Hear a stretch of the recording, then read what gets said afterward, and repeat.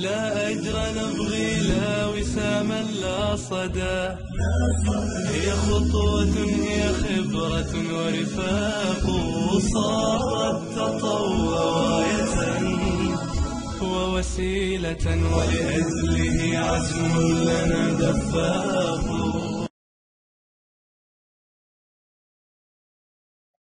هايل أهلا وسهلا بحضراتكم في تاني محاضرات دورة المدرب المحترف.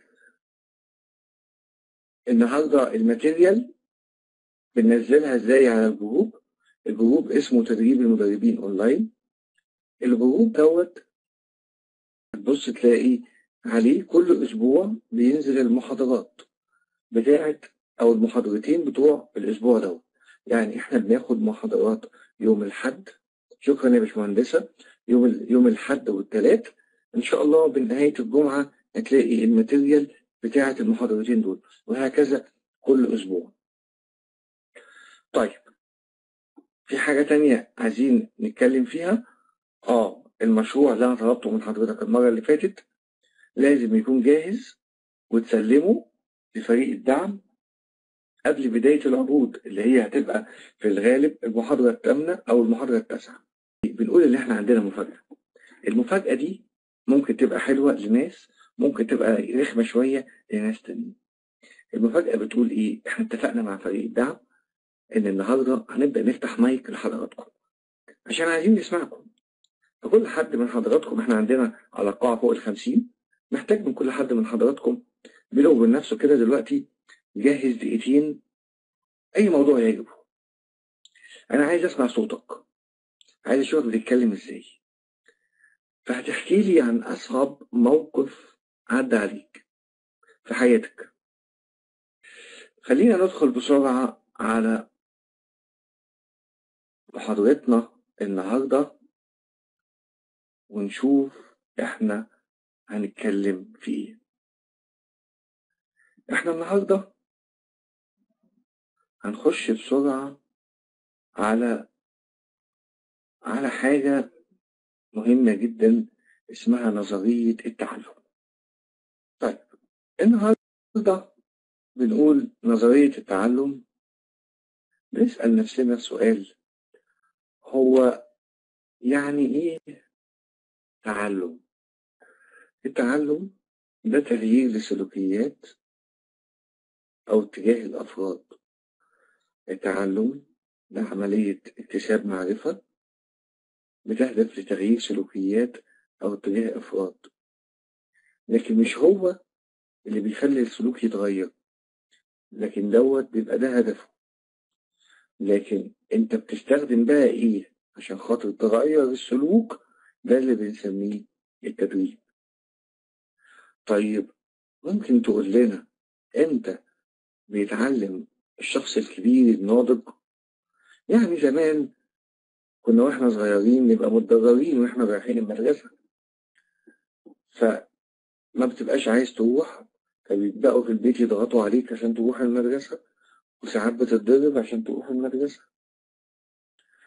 ولما تتضرب عشان تروح المدرسة بتبدأ تزوغ من المدرسة ونبدأ في الآخر نشوف حاجات مدورة في الشهادة. ده كان زمان. طيب ده عشان انت كنت صغير.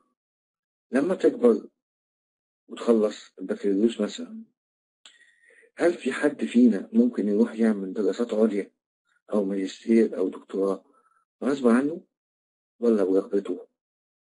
الإجابة أكيد برغبته. ومن هنا جت فكرة إمتى الكبار بيتعلموا؟ بيتعلموا لما يكون عندهم رغبة في التعلم. ولما يكونوا محتاجينه. يعني أنا في الآخر رغبتي دي حاجة كويسة لكن السؤال اللي بيحكمني هل أنا محتاجه؟ يعني هل أنا محتاج الماجستير والدكتوراه في الكارير بتاعي هيفيدني فأروح أعملهم؟ ولا أنا مش هيفيدني فما أعملهوش؟ هل أنا محتاج شهادة مهنية تانية فأبدأ أروح أعملها؟ ولا أنا مش محتاجها لأن هي مش بتأثر مثلا على ترقياتي فبالتالي مفيش داعي إن أنا أعملها؟ السؤال التاني إزاي بيتعلم الكبار؟ قال لك الراجل الكبير لازم يربط التعلم بتاعه بالخبرة بتاعت الماضي أو الحاضر أو المستقبل أي حاجة يتعلمها بيسقطها على خبراته العملية اللي عدت عليه أو اللي هو بيعيشها في اللحظة اللي بيتعلم فيها أو بيتعلم عشان يمارس حاجة في المستقبل هيكتسب منها خبرة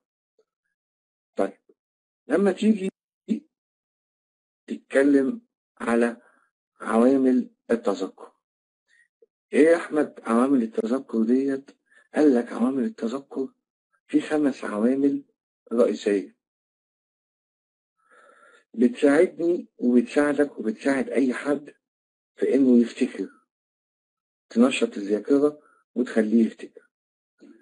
أول حاجتين هناخدهم مع بعض هي الأول والأخير.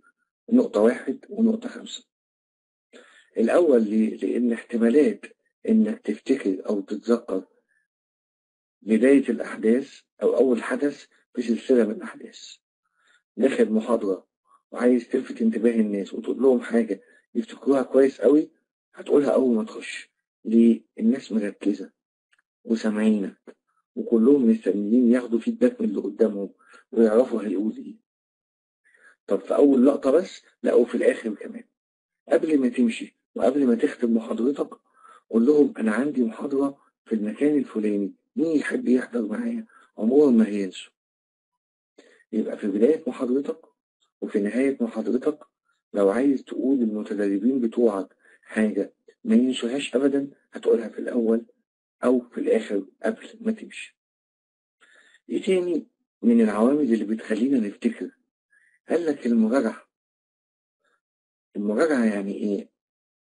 يعني أنت بتقدر تفتكر حاجة عدت عليك أو سمعتها أو حضرتها خلال 24 ساعة. لكن بعد ال 24 ساعة ما تعدي تعالى قول لي كده أنت اتغديت إيه من تلات أيام؟ هقعد أسرح وأقعد أفكر. طيب عشان بقى ما تنساش تعمل إيه؟ تفضل تراجع. أقول لك على حاجة أسهل. مين فينا مش بيذاكر لولاده؟ طب لما تيجي تذاكر لولادك ممكن تقول لي بتذاكر لهم إزاي؟ بتراجع.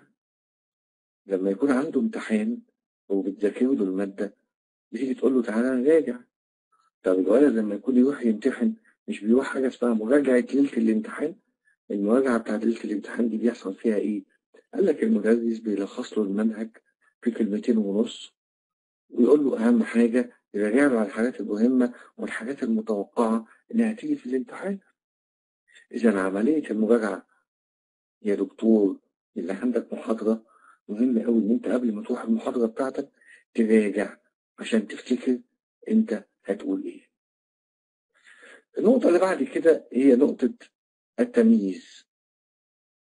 كونك تميز حاجة معينة هتلاقي نفسك بتفتكرها بسهولة.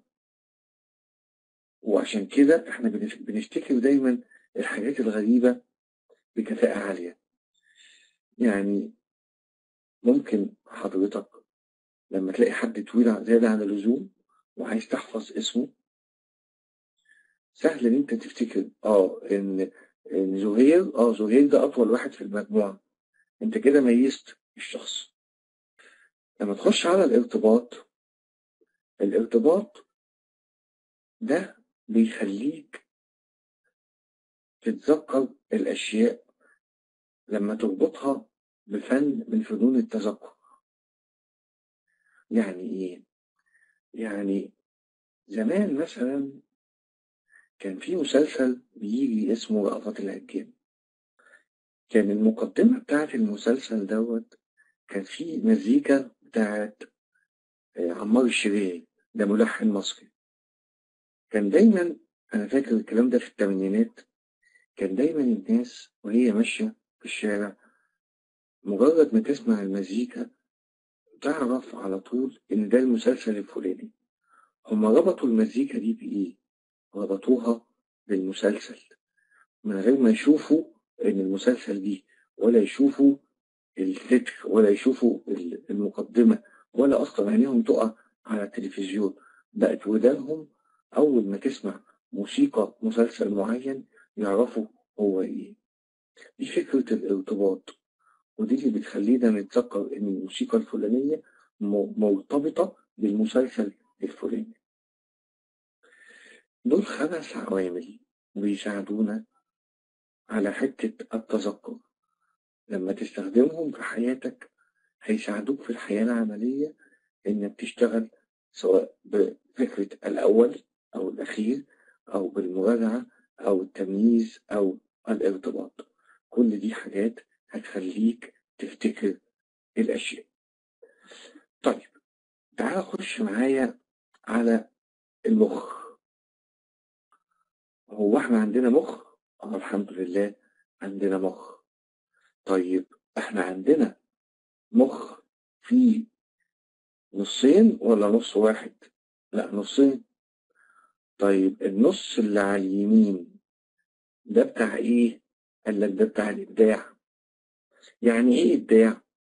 يعني أنشطة فنية فنون واحد بيعزف مزيكا شخصية عاطفية تقدير للشخص اللي قدامه إمكانيات وقدرات واحد بيعرف يرسم تعبيرات وش ح- حب للصور والألوان كل دي بيبقى الجزء الأيمن من المخ بيبقى فيه الفصوص بتاعة المهارات دي كلها.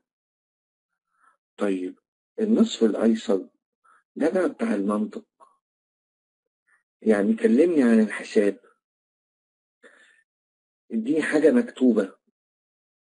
امسك المواضيع حللها لي تحليل منطقي. رتب لي الكلام وقوله لي بتسلسل. قيم لي الموقف واديني نقدك سواء إيجابي أو سلبي. ده النصف الأيسر. طب أنا كبني آدم المفروض أبقى أنا بشغل النص الأيمن ولا بشغل النصف الأيسر؟ ولا بشغل الاتنين مع بعض؟ الأصل ان أنا أقدر اشغل الاتنين مع بعض. لكن الحقيقي إن أنت هتلاقي نفسك عندك نص غالب على التاني. لأن أنت راجل عملي قوي قوي قوي قوي والشق الإبداعي أو العاطفي عندك محدود أو قليل. هنا أنت بتلاقي الصفات والمهارات بتاعة نص المخ الأيسر اللي بيتكلم عن المنطق صفاته سائدة. في حين أن النصف الأيمن بتاع الإبداع صفاته متنحية.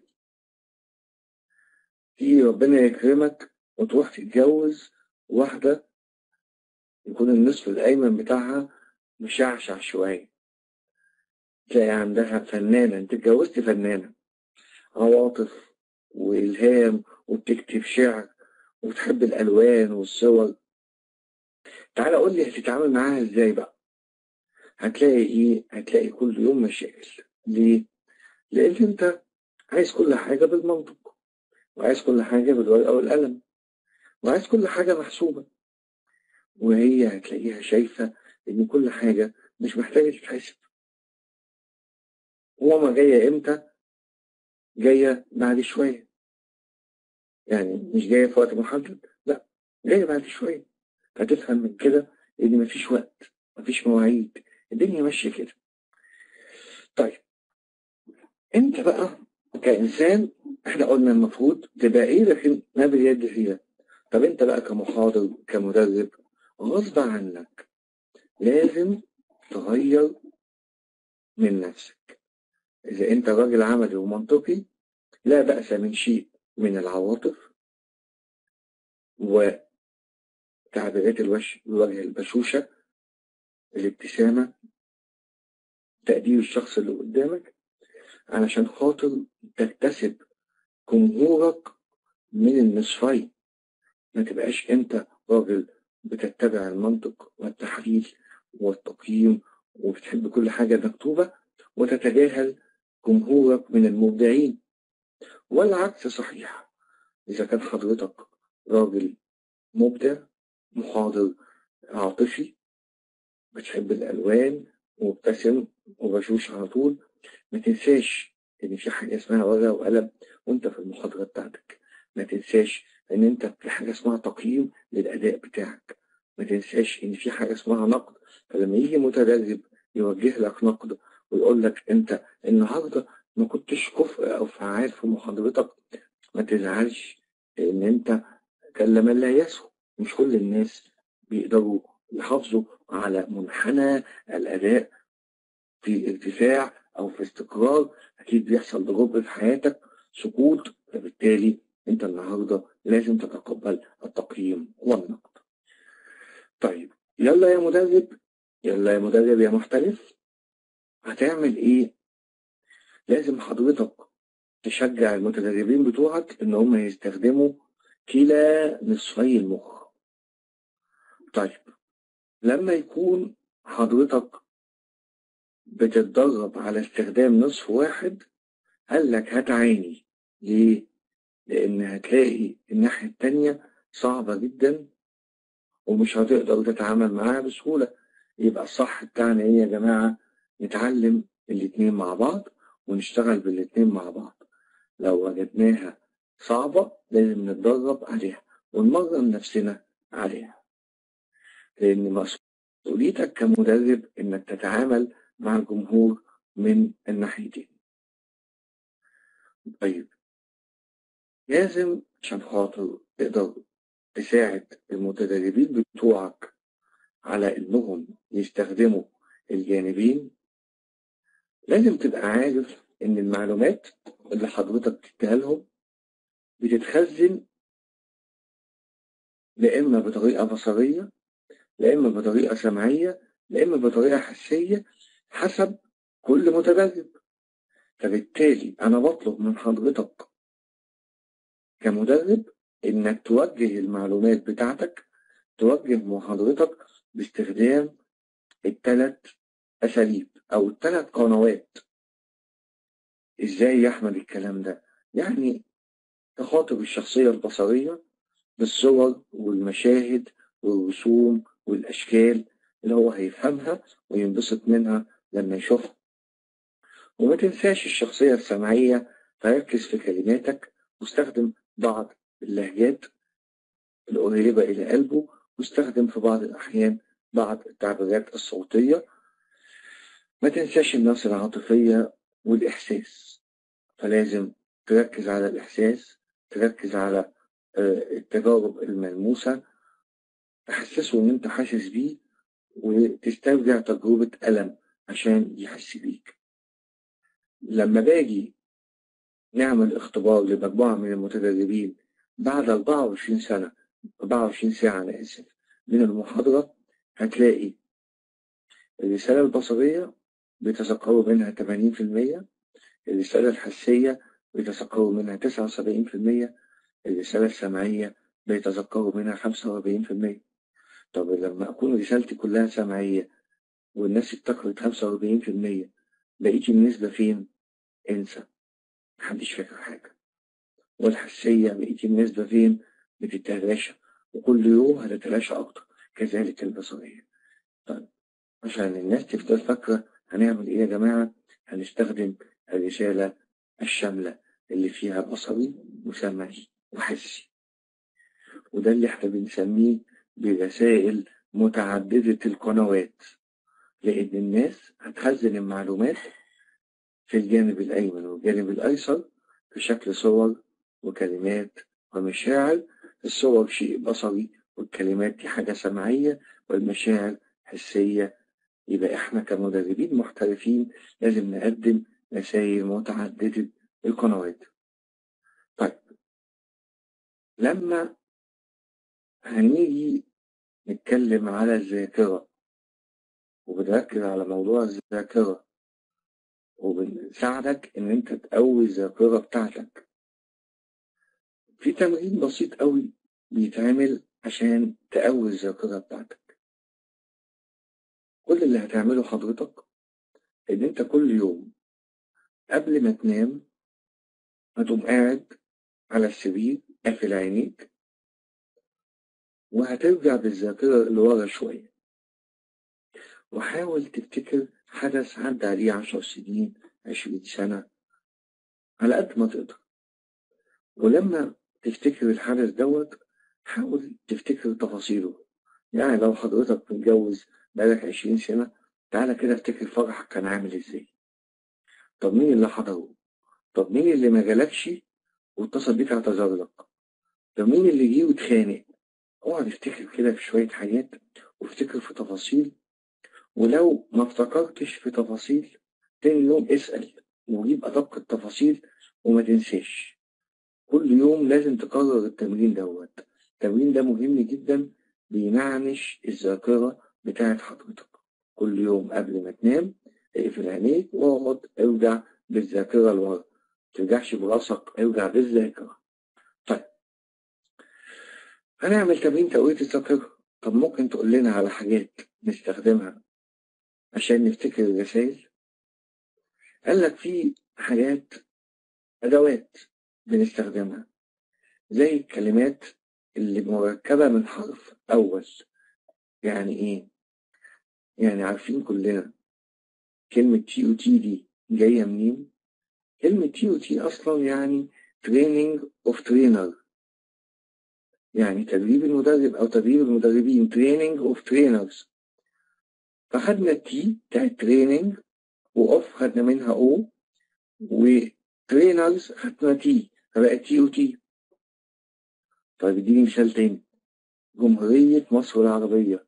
كتير مننا بنيجي نكتبها نقوم عاملين جيم نقطة ميم نقطة عين. عشان لما نيجي نحفظ الاسم يبقى سهل. يبقى جيم ميم عين. أهو دي طريقة إن إحنا نتذكر بيها إن إحنا بناخد كلمة حرف أول من كل كلمة عشان نقدر نحفظ ونتذكر الاسم على بعضه. الأصوات حاجة كويسة جدا. ونتذكر من الأصوات المثال اللي أنا قلته من شوية إن أنت تربط صوت معين بالرسالة اللي أنت عايز توصلها.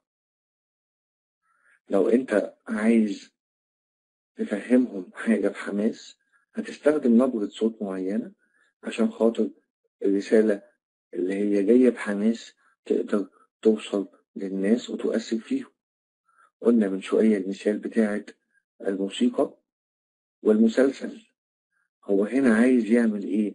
عايز يفكرك بالمسلسل فبيستخدم مزيكا مؤثرة عشان خاطر لما مجرد ما تسمعها ده مؤثر صوتي يذكرك إن في مسلسل اسمه كذا موجود دلوقتي. ده تكنيك بيستخدم فيه الأصوات عشان يوصل لك رسالة مضمونها أن المسلسل بيبدأ. طيب.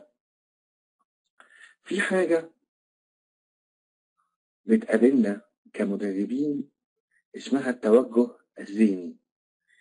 التوجه الذهني ده العدو رقم واحد للمدرب المحترف ليه؟ شايفين الصورة اللي قدامنا ديت؟ الحقيقة الصورة دي صورة قطة. لكن القطة لما بصت لنفسها في المراية هي شايفة نفسها أسد. فهي في الآخر قطة. إيه اللي بيحصل يا جماعة؟ اللي بيحصل إن في حاجة اسمه التوجه الذهني اللي بيخالف الواقع؟ واللي بيساعد على حدوث تنافر أنا ببقى كمدرب بوجه رسالتي وبستخدم مادة علمية معينة عشان أوجه اللي قدامي في اتجاه معين. قد يحدث في بعض الأحيان إن المتدرب اللي قاعد مش مقتنع بالكلام اللي أنت بتقوله أو مجرد إن هو بيستشعر إن أنت في تعارض بين المادة اللي حضرتك بتقولها وبين القيم أو المعتقدات اللي عنده. فهتلاقيه على طول بيحاول يا إما ما يركزش معاك أو بيحاول يعارضك أو بيحاول إن هو يهاجمك أو بيحاول إنه يسخن الناس عليك. وده موجود في الوسط ما نقدرش ننكره. فإذا اتكلم معاك فلا بد من إنك توجد بدائل. لابد إن أنت تفهمه إن مفيش اعتراض أو خلاف بينك وبينه في القيم والمبادئ وإنما هي اختلاف في الأمثلة ووجهات النظر.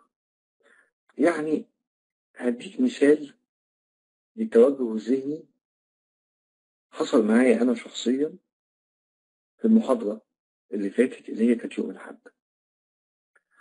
أحد المتدربين وربما يكون هو موجود معانا دلوقتي. سأل سؤال وأنا طلبت منه إنه يجيلي على الخاص بعد المحاضرة. السؤال كان بيتطرق بإن أنا وأنا ببدأ المحاضرة بتاعتي قلت يا جماعة من فضلكم أنا مش عايز حد يتكلم في كذا وكذا وكذا. كذا وكذا وكذا بالنسبة لي اللي هي الدين اللي هي الكورة اللي هي السياسة. فهو كان متحفظ على جزئية الدين وقال لي إزاي ما نتكلمش في الدين ودي المرجعية الأصلية بتاعتنا. وبدأ بالنسبة لي أنا في بداية الحوار إن شخص كان بيهاجمني. فبدأت أتفق معاه على أسس للحوار. قلت له وهو أعتقد موجود معانا دلوقتي يستطيع إن هو يأكد كلامي أو ينفيه. قلت له الأول إحنا بنتفاهم ولا بنتخانق؟ فقال لي لا إحنا بنتفاهم مفيش مجال للخناق. قلت له حلو أوي. أنا قناعتي الشخصية إن أنا مش بخاطب جمهور ذو ديانة واحدة. فطالما أنا مش بدي حصة دين ومش بدي دورة في الدين ومش بدي إرشاد أسري ومش محتاج أدي تربية أبناء فهخلي مرجعيات إسلامية أو نصرانية فيها؟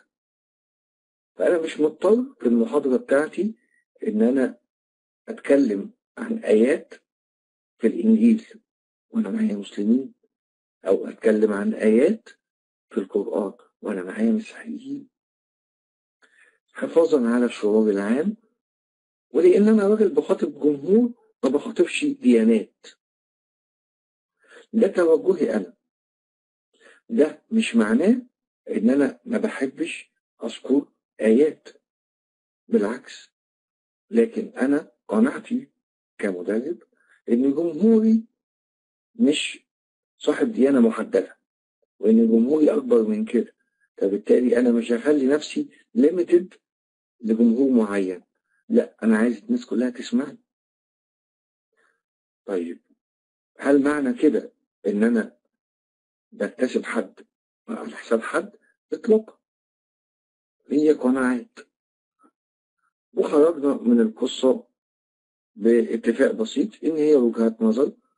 هو قد يكون شايف إن محاضراته كلها لازم تكون فيها توجهات دينية وأنا ما زلت مصمم إن محاضراتي لازم هتبقى ملتزمة بالعنوان اللي بتاع المحاضرة والمحتوى بتاعها. ولما أحب أعمل محاضرات دينية هبقى أعمل محاضرات دينية عشان الجمهور بتاعي يبقى فاهم إن أنا بدي محاضرات دينية. لكن طالما أعلنت عن دورة فيها واحد اتنين تلاتة أربعة فلازم أبقى ملتزم بالسكوب بتاعي وخرجت من الموقف من وجهة نظري الشخصية قد أكون ما عرفتش في المية لكن على الأقل أقنعته إنه يفكر فيها من وجهة نظر الطرف الآخر. ده مين؟ ده التوجه الذهني. قدامك حاجة من اتنين. يا إما هو هيجي المحاضرة ديت يبقى أنا كده إلى حد ما قدرت أقنعه بوجهة نظري يا إما هو هيجندني وهيبقى شايف إن أنا ضد معتقداته وضد توجهاته فمش هيحضر لي تاني وده هنعرفه أول ما يفتح الشات إن هو هيقول لنا إذا كان موجود ولا لأ. تجربة التعلم مش هبدأ فيها أنا هفتح الشات دلوقتي وناخد أسئلة. على الجزء اللي فات وبعد كده هنبدأ في تجربة التعلم. أميرة بتقول إزاي أحتفظ بإثارة واهتمام الطلاب في المحاضرة؟ والله يا أميرة ليها كذا تكنيك. أولهم أول خمس دقايق وإزاي بتديني أول خمس دقايق في المحاضرة؟ وإزاي بتفك الجليد؟ لأن هي دي المفتاح اللي بقيت المحاضرة بس هتبقى مشدودة لك لأنك بدأت بداية كويسة جدا وقوية جدا. والعكس صحيح. لو فلتت منك الخمس دقايق الأولى وحسوا إن اللي قدامهم دي واحدة مهزوزة ومترددة وقلقانة بخ دي أول نقطة. النقطة رقم اتنين إن أنت تبقي محضرة كويس قوي وهضمة مادتك وفاهماها. لأنك ممكن تتخبطي سؤال في مقتل. وممكن اللي يسألك دوت يبقى واحد عارف إجابة السؤال اللي بيسأله. في الغالب في ناس قاعدة عشان تتصيد.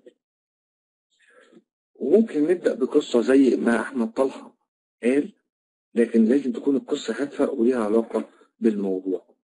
الأخطر من كده إن حضرتك لازم تتنوعي في الأسلوب عشان الناس ما تملش. لكن ما ينفعش حضرتك تبقي ماشية بوتيرة واحدة وصوتك على طول ولا بتزعقي على طول ولا ولا ولا الناس سامعاكي على طول. لازم تنوعي في الأساليب. وطالما محاضرة يبقى لازم ورشة عمل ولازم تحركي الناس وتشغليهم معاكي. طيب آه منير بيقول هل توجد طريقة مثالية لمراجعة وتحضير المادة؟ في طريقة جميلة يا منيف المادة العلمية الطريقة المثالية بتاعتها إنك تسجل لنفسك وأنت بتعرض وتقعد بقى كده تسمع نفسك يا جميل وأنت بتحكي اللي هتروح تحكيه بكرة وتراجع لنفسك سو في ناس بتقول بطبيعتي شخصية عملية لكن عندي جزء فني وهو الرسم والحمد لله بعرف أتعامل مع الناس كويس لكن أغلب الناس بتشوفني شخصية جادة جدا إزاي أقدر أتغلب على الانطباع ده كمدرب في المستقبل والله يا الناس مش كفاية إنك تقولي لي إن أنا بعرف أتعامل مع الناس كويس لازم هم اللي يقولوا عليكي كده إذا الناس شايفينك شخصية جادة جدا هيبقى السؤال هل في ناس بتتجنبك وتتحاشيكي؟ ده لازم تجاوبي على السؤال دوت. إذا وصلت للقناعة إن في ناس بتتحاشيكي فأنا بقترح عليكي إن أنت تاخدي كورسات communication skills مهارات الاتصال مع الآخرين. وتحاولي تحللي الشخصية بتاعت حضرتك عشان تعرفي إيه نقاط الضعف اللي عندك. وبداية النجاح في الموضوع دوت إن أنت تبقي متأكدة إن عندك مشاكل. وتحاولي تطلعي إيه هي المشكلة دي آه صابرين بتقول إزاي أمسح الخوف؟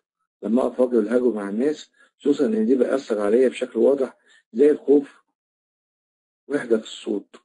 طيب يا صابرين لو صبرتي عليا إن شاء الله إن شاء الله النهاردة هنتكلم على مهارات العرض والتقديم وهنتكلم على إزاي نشيل الخوف من مواجهة الجمهور. طيب. محمد نصر الدين التردد في مخاطبة الناس غريب أوي يا راجل أنت دخلت فيها شمال. أنت بتتردد في مخاطبة الناس. طيب والله هو لو ده خوف يبقى خليك خايف على طول. يعني عموما تاني هنتكلم في موضوع الخوف من مواجهة الناس. إن شاء الله مع مهارات العرض والتقديم صابرين بتقول ده فعلا سوري مش صابرين صافيناز بتقول فعلا كلام الناس ليا ومحبوبة جدا لكن الشغل شغل. والترفيه ليا. وأتوب بفصل طيب يا صافيناز إحنا عندنا في شغلنا حاجة اسمها 360 فيدباك 360 feedback عندك زيه؟ لو عندك زيه بتشوف الناس كاتبة عليك إيه. ده ببساطة زمايلي اللي في العمل سواء اللي في نفس ال level أو اللي تحت. دول اللي يهموني بيقيموني. وبيقولوا كل اللي هم عايزينه وأنا ما بقدرش أشوف مين اللي كتب إيه عني ده لو عندك هيفرق معاكي قوي عشان هتشوفي نفسك على الحقيقة. طيب هالة بتقول التوجيه الذهني التوجه الذهني للمتدرب يبعد عن موضوع التدريب ولا بد من التعامل أثناء التدريب آه التوجه الذهني للمتدرب ممكن حضرتك يبقى قاعد زيه زي الكرسي ما توصليش معاه لحاجة وما تفهميش منه حاجة. ودورك انت كمدربه إنك تلقطيه تلقطيه إزاي؟ لما تلاقيه ساكت ما بيتكلمش. ممكن يكون خجول وممكن يكون عنده توجه ذهني. ففي كلتا الحالتين لازم تحركي اللي قدامك وتخليه يتفاعل معاك. وتتعاملي معاه اثناء التدريب أستاذ جمال عبد الناصر بتسألني على الأحبال الصوتية وأنا عامل كده. في تمارين لازم تتعمل عشان الأحبال الصوتية لكن اسمح لي مش هقدر أعملها النهارده عشان أنا احبالي الصوتية بتنحدر بعد اذنك هنخليها يوم تاني. آه آية بتتكلم عن المشاغبين داخل قاعة التدريب. عينيا آية في جزء خاص بالموضوع دوت. هكلمك فيه عن الشخصيات اللي ممكن تقابليها وهكلمك فيه عن كل شخصية إزاي تتعاملي معاها وتعرفيها إزاي كمان. تمام كده؟ بس الصبر. نثبت مسألة إن أنت تتقبلي المعارضة وتحتويها هي بالظبط فكرة أنت عندك حاجة اسمها الاعتراضات. في جزء اسمه التغلب على الاعتراضات وإزاي تتعاملي مع المعترض وده إن شاء الله هندرسه في الجزء بتاعنا. فما تقلقيش لو شفت المحتوى بتاع المحاضرات هتلاقي فيه جزء كيفية التغلب على الاعتراضات أستاذة جليلة المدرب لما يكون بصري لازم ياخد دورات في مهارات الاتصال عشان خاطر يتعلم حتة البصري والسمعي والحسي ويقدر يعمل كوكتيل. كمان لازم يشوف الحسي وال... والحسي مهارات إيه اللي عنده ويحاول يكتسب المهارة نفسها.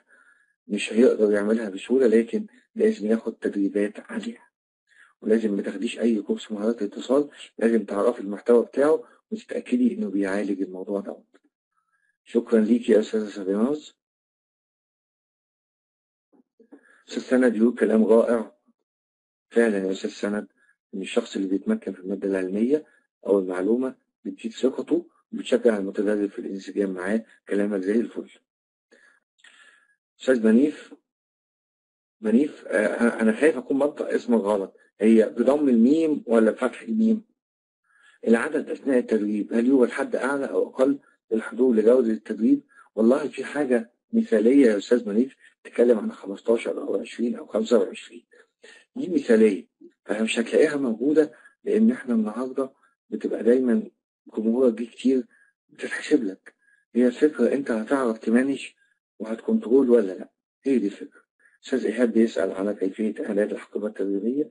إن شاء الله يا أستاذ إيهاب إحنا عندنا موضوع كامل عن الموضوع دوت. هنشرح فيه الكلام ده بالتفصيل. أستاذ أستاذة كنزي عشان تبقي شخصية حازمة ومرحة لازم تبقي شخصية سمعية وبصرية و... و... ولازم تبقي كل أنواع الشخصيات مع بعض. محتاجة communication skills ومحتاجة تتعلمي تحليل الشخصيات. ودي دورات لوحدها مستقلة بيحصل تدريب فيها لحضرتك على الموضوع دوت وبنديكي فيها مفاتيح للكلام دوت لكن ده هيبقى صعب إن أنا أرد عليكي وأقول لك اعملي واحد اتنين تلاتة هتبقي حازمة ومرح موضوع أكبر شوية من كده. أستاذ إكرامي اللي أنت بتحكي عنه دوت ده نوع من أنواع الشغب في التدريب. وإذا سمحت لي التعامل مع المتدربين المشاغبين في التدريب هندرسه مع بعض. إذا فاض وقت النهارده إن شاء الله في الجزء بتاع مهارات العرض والتقديم في مرحلة أثناء العرض اللي بيحصل. هي منى بتقولي ورش العمل والأدوات المصاحبة للتدريب والباوربوينت من الصعوبات يا ترى محتاجة تدريب تاني ولا ممكن نعرفها من الكورس؟ يعني أنت متخيلة يا منى إن أنا هعلمك هنا PowerPoint؟ لا طبعا. أنا هنا الدورة بتاعتي تدريب مدربين يعني أنت أساسا عشان تبقي مدربة لازم تبقي مستخدمة لل PowerPoint إذا أنت مش عارفة تستخدمي ال PowerPoint لازم تروحي تاخدي course اسمه PowerPoint عشان خاطر تتعلمي تستخدمي اللابتوب. الأدوات المصاحبة للتدريب زي مثلا القلم القلاب اللي بتقلبي بيه زي زي استخدام ال data show كل ده تكنيكات ممكن نتغاضى عنها لأن في منظم بيظبطها لك. لكن أنت مش عارفة تستخدمي ال PowerPoint متوقعه إن أنت هتاخديه في دورة تدريب مدربين استحالة حد يديكي حاجة ليها علاقة بال soft skills ده برنامج على على الكمبيوتر وإحنا بنديك حاجة ليها علاقة بتكنيك التدريب ودوره تقيلة زي تدريب المدربين. لكن إذا كان قصدك إيه المواصفات في المادة العلمية فطبعا دي إحنا بنغطيها. أهلا يا نور نور بتقول إزاي أسيطر على القلق والارتباك نفس القصة يا نور هتاخدها إن شاء الله. في حتة الخوف من مواجهة الجمهور ودي إن شاء الله هناخدها إذا عشنا النهاردة. بيقول طريقة تحضير الحقيبة هنتعلمها في الكورس؟ أيوه هنتعلمها في الكورس. عارفين يا جماعة الأسئلة بتاعتكم حسستني إن أنتوا ما قريتوش المحتوى بتاع تدريب المدربين. طب إذا أنت ما قريتش المحتوى إزاي بتحضر حاجة وأنت ما قريتش المحتوى بتاعها؟ فاهمني؟ دي نقطة مهمة جدا. هدى حسن بتقول إزاي أقدر أصبر على المتحدث المغلف أو الغير صادق. والله يا هدى الموضوع ده محتاج شوية صبر وتخليكي هادية كده وتبقي راسية ويكفيكي فخرا إنك عرفتي اللي قدامك. فسيبيه يضحك عليك إيه المشكلة؟ يعني أنا مش شايف فيه مشكلة لكن المشكلة إن أنت تواجهي اللي قدامك تقول أنت كذاب أو أنت أو أنت أو أنت. لا لا لا خالص. خليه خليه يخش عادي ويتكلم عادي ويكفيكي فخرا إن أنت عرفتيه وفهمتيه فآمنتي شره. وبدأتي تتعاملي معاه من المنطلق دوت. الإيفنت يا جماعة فيه بالتفصيل المحتوى اللي ملحقش محاضرة الحد واللي مش مستني لما التسجيل ينزل. لو حد من الدعم يساعدنا ويدينا بس رابط ال event اللي محتاج يعرف المحتوى. هو ال event نزل. شكرا يا باشمهندس. ممكن تخش على ال event بعد المحاضرة وهتلاقي نفسك شايف المحتوى بتاعنا كامل عشان ما تشغلش بالك. لكن عموما حضرتك لما تيجي تحضر دورة تدريبية لازم تعرف ثلاث حاجات. أول حاجة تكلفة كام؟ إذا كانت مجانية فلا عليك. تاني حاجة من هو المحاضر؟ من هو المحاضر؟ دي مهمة جدا. وما تكتفيش بالكلام اللي بيكتبه عن نفسه. لازم تتفرج له على فيديوهات. عشان كده دايما إحنا بنلزق اليوتيوب قناة اليوتيوب عشان حضرتك تشوف المحاضر وتطمن إن هو كويس وإنت فاهم منه. إذا اطمنت هو هيحضر لقيته كلامه مش مفسر أو بيتلعثم أو أو إلى آخره أنت مش محتاج تحضر. طيب النقطة الثالثة اللي هي المحتوى بتاع المادة العلمية. فإذا كان إذا كان تجربة التعلم دي ببساطة 14 خطوة ضرورية ومهمة عشان تصمم تجربة تعلم. طب إيه يعني تجربة التعلم دي؟ يعني, يعني هي حاجة مهمة؟ آه تجربة التعلم دي لن تنسى. إذا استخدمتها في محاضرتك أو في الدورة التدريبية بتاعتك انسى إن الناس ما تخرجش مستفيدة وانسى إن الناس ما تفضلش فاكراك وإنك ما تأثرش فيهم. كل ده من تجربة التعلم. طب تعالوا معايا ناخد فكرة عن تجربة التعلم ونعرف هي إيه. أول حاجة مصيدة التعلم ودي اللي بنسميها المفاجأة أول ما بتدخل تبدأ بمفاجأة زي إيه؟ عبارة لجذب الانتباه. سؤال عن حدث سهل الناس تسمعه وتضحك. فاجئ الناس بإنك عايزهم كل واحد يتعرف على اللي جنبه ويطلع يعرفك عليه وهو أول مرة يشوفه أي حاجة فاني تضحك دي كلها مفاجأة بتكسر الجليد وبتخلي الناس تنتبه ليك. رقم اتنين الفجوة. الفجوة إنك تظهر الفجوة يعني حفرة مسافة كبيرة مساحة كبيرة. إنك تظهر الفجوة ما بين المهارة اللي عندك أنت يا متدرب في الوقت الحالي وبين اللي هيتم اكتسابها من واقع المقرر التدريبي فاكرين لما جيت في المحاضرة الأولانية وزي ما زميلتنا فردوس قالت أنت قلت لنا المحتوى بتاعك في المحاضرة الأولانية طب أنت قلته ليه؟ إحنا قلناه عشان أقول لك إيه المعرفة والمهارة اللي أنت هتكتسبها معايا بعد الدورة التدريبية بتاعتي. فأنت بينك وبين نفسك تقول آه ده أنا ما كنتش بعرف أعمل الحقيبة التدريبية ده أنا بعد ما أحضر مع أحمد مبارك هبقى بعرف أعمل الحقيبة التدريبية اللي خايف من مواجهة الجمهور هيقول آه أنا بعد المحاضرة دي هعرف إزاي أتغلب على خوفي وأسيطر عليه. يبقى أنا هنا شرحت لك المحتوى بتاعي وأنا أعني إني أقول لك إن ليك في الدورة بتاعتي دي حاجة هتقفل لك الفجوة بين المهارة اللي مش عندك أو اللي عندك بس مش كاملة وبين اكتسابها وثقلها ومعرفتها معرفة كاملة بانتهاء المقرر التدريبي. ده إيه؟ ده الفجوة. لما أشرح لك المحتوى هبدأ أنكشك كده كل شوية وأتأكد إن أنت فاهم مصحصح معايا طب انت عرفت إيه الحاجات اللي معاك؟ طب انت واخد بالك ان انت فهمت ان أنا هشرح الموضوع دوت؟ طب لما تسألني في حاجة وأنا لسه هشرحها قدام هفكرك وهتأكد ان انت عارف ان أنا عندي الحقيبة التدريبية بعد شوية. طب وإذا أنا مش عايز أعيد كل شوية هتلاقيني بجيب لك بديل عشان تتفرج منه على المحتوى عشان تتأكد وتفهم إن أنا هقفل لك فجوة مهارات معينة هتساعدك إنك تبقى مدرب كويس هو أنت بتعمل إيه يا أحمد دلوقتي؟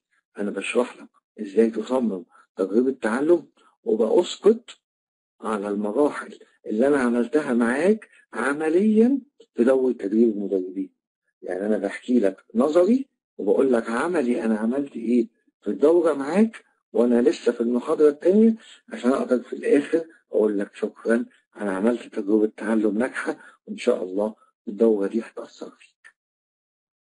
بعد كده هتخش على جزئية الحاجة. الحاجة نقصد بيها إيه؟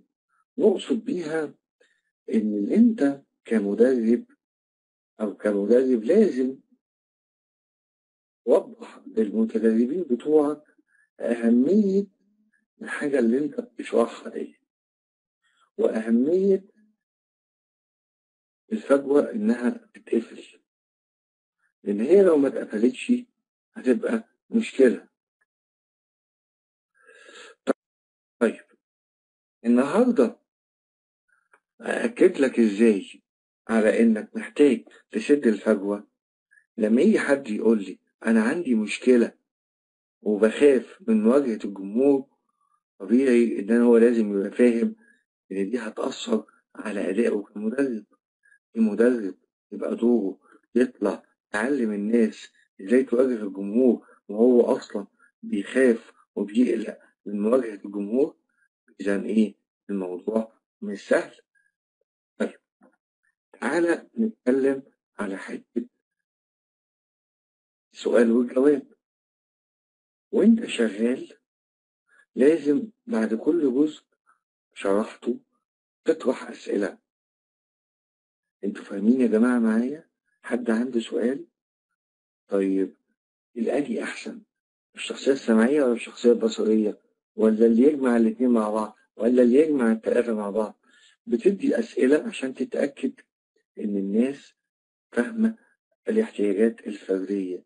تبدأ تتكلم طب هو إحنا ينفع نبقى مدربين وإحنا مش عارفين نعمل حقيبة تدريبية؟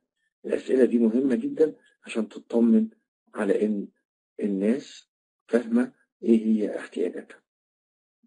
نقطة رقم ستة هي خريطة الطريق.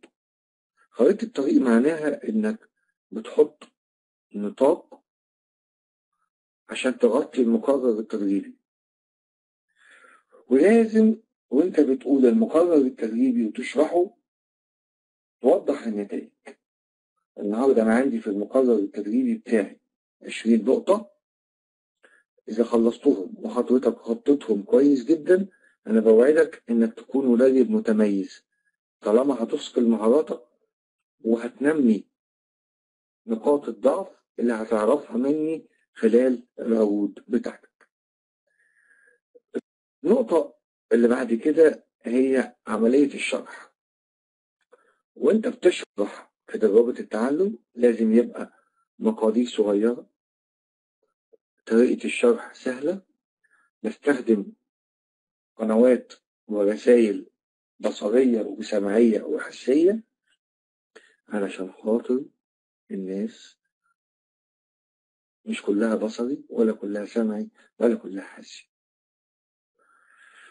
بعد كده هتخش على الوصف.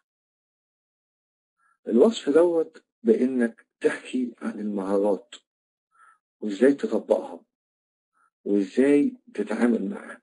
كأنك تيجي مثلا تتكلم عن لغة الجسد فتقول في حاجة اسمها الاتصال البصري في حاجة اسمها تعبيرات الوجه الإيماءات. إزاي حضرتك لازم لما تقول إن أنت مبتسم تبقى أنت مبتسم مش تبقى رايح عزا وبتقول البقاء لله وأنت مبتسم.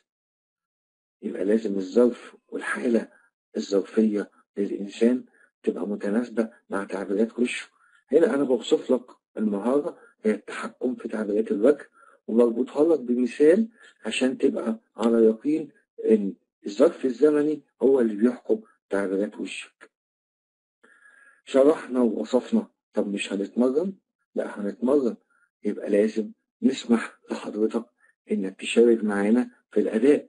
عشان كده بعد ما هنخلص تجربة التعلم هنبدأ ناخد نفتح المايك للناس وناخد كل حد يكلمنا في دقيقتين عن أصعب موقف مر عليه في حياته.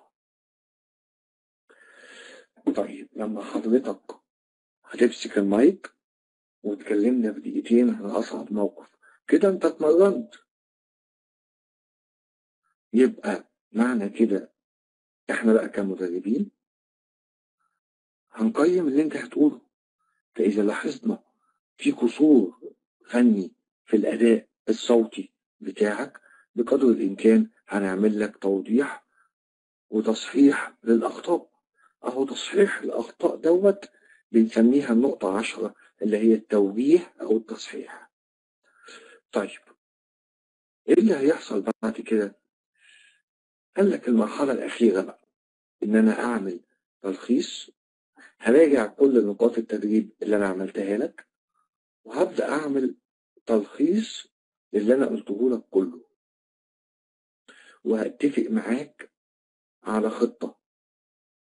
خطة أنت هتبدأ إزاي بعد المشروع بعد ما تاخد الشهادة بتاعتك؟ هل هتقعد في البيت وتكبر ولا هتبدأ تتدرب؟ طيب عايز نساعدك فهنقول لك تعالى تطوع معانا.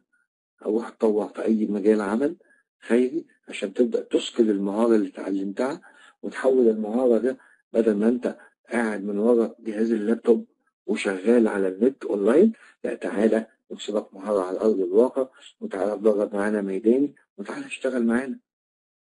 خش بعد كده لما هتخش على خطة العمل وتبدأ تنفذها أنا دوري ليك كمدرب هتابعك. وهتفق معاك على حاجة اسمها خدمة ما بعد البيع اللي هي إيه؟ إن حضرتك وأنت بتعمل مادة علمية أو حقيبة تدريبية حقك عليا إن أنا أراجعها لك وأصلحها لك وأقول لك مشاكلها إيه. طبعا مش على طول يعني أول مادة علمية أو حقيبة تدريبية هتعملها هراجعها لك مجانا. لو عندك محاضرة ومحتاج أي خطوط عريضة الشغل بتاعك هساعدك فيه. لو محتاج إن حد يقيمك هقول لك سجل لنفسك على اليوتيوب. وابعت لي الرابط وأنا مستعد أعمل لك تقييم في أي وقت. أو عايز تعملها live هتخش معايا على سكايب وتعملها live حتى بعد ما ال course ما يخلص. المفاجأة إن أنت بعد جلسة التدريب هتلخص كل ما سبق وتحكي تجربة التعلم. يعني بعد ما بنخلص الدورة التدريبية بتاعتنا وبعد ما بنخلص خطة العمل وبعد ما تخلص المتابعة هتقعد مع الشخص اللي انت عملت معاه كل دوت وتبدأ بقى تقول له تعالى أفكرك فاكر لما حضرت معانا دورة تدريب المدربين؟ فاكر لما عملنا لك خطة عمل وبدأت تشتغل؟ فاكر لما تابعنا لك وعدلنا لك الماتيريال؟ فاكر كل دوت؟ هنقول لك أنت النهاردة أصبحت زي الطائر الحر الطليق. أنت تستطيع أن تقف بمفردك على خشبة المسرح وتعرض العروض بتاعتك. أنت اليوم مدرب كامل الأركان تستطيع أن تنطلق بمفردك وتستطيع تعمل حقيبتك التدريبية بمفردك. ما أنتش محتاج لحد. توكل على بركة الله ونسألك التحقيق ده باختصار تجربة التعلم اللي إحنا بنقدمها لحضراتكم. أستاذ أحمد طلحة بيقول أنا لاحظت إني بيأنب الناس أكتر ما بقول لهم إزاي ينجحوا. طيب يا أستاذ أحمد ما أنت كده بتطفشهم منك؟ يعني شكرا يا أستاذ ندى. أنت كده بتطفشهم منك. إذا تقعد تأنب الناس طب هما هيحضروا لك ليه تاني؟ لازم تعدل سلوكك في موضوع التأنيب دوت. وكويس جدا أنا هبص لها بناحية إيجابية كويس إن حضرتك مدرك مشكلتك. عارف يا أستاذ أحمد طلحة؟ إدراك المشكلة ده جزء من حلها. إن أنا عارف إن هو ده السبب في المشكلة يبقى فاضل بس هدرب نفسي على إني أبطل. هدرب نفسي على إني أبطل أوجه اللوم للي قدامي. أمسك لساني شوية. هتفرق معاك كتير والناس هتحبك أكتر. أستاذ عفاف شعورك في محله يا أستاذ عفاف التدريب فعلا محتاج كثير من الصبر والهدوء والثبات الإنفعالي. لا يا مها عنصر المفاجأة مش لازم يكون في نفس موضوع التجربة خالص. أنا ساعات بخش أعمل عنصر المفاجأة في حاجة بعيدة تماما لكن بأسقط عليها. يعني إيه؟ يعني لما أجي أتكلم مثلا عن مهارات الاتصال مع الآخرين. بجيب بالونة وبجيب دبوس. وبطلع أكثر من متدرب أقول له لو سمحت دخل البالونة دخل الدبوس في البالونة. فأكتر من حد بيفرق عن البالونة. اللي بينجح في التجربة بس هو الشخص اللي بيدخل الدبوس في مكان محدد بيبقى مرن شوية في البالونة والبالونة ما بتفرقعش فبنبدأ نقول يا جماعة اللي عنده communication skills كويسة أو مهارات اتصال كويسة بيحافظ على الناس بيحافظ على الدبوس والبالون.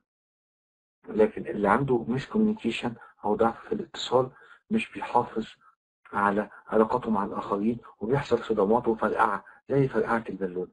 ده مثال. ممكن الناس لما تشوفك داخلة ببلالين تتخض تقول إيه ده ده مهرج ده ولا إيه؟ لكن لما بيعرفوا الرسالة اللي ورا البلالين بتلاقي الدنيا أهدى بكتير. وبيقتنعوا إن اللي موجود دوت ده راجل عنده معلومة وجاي يتهم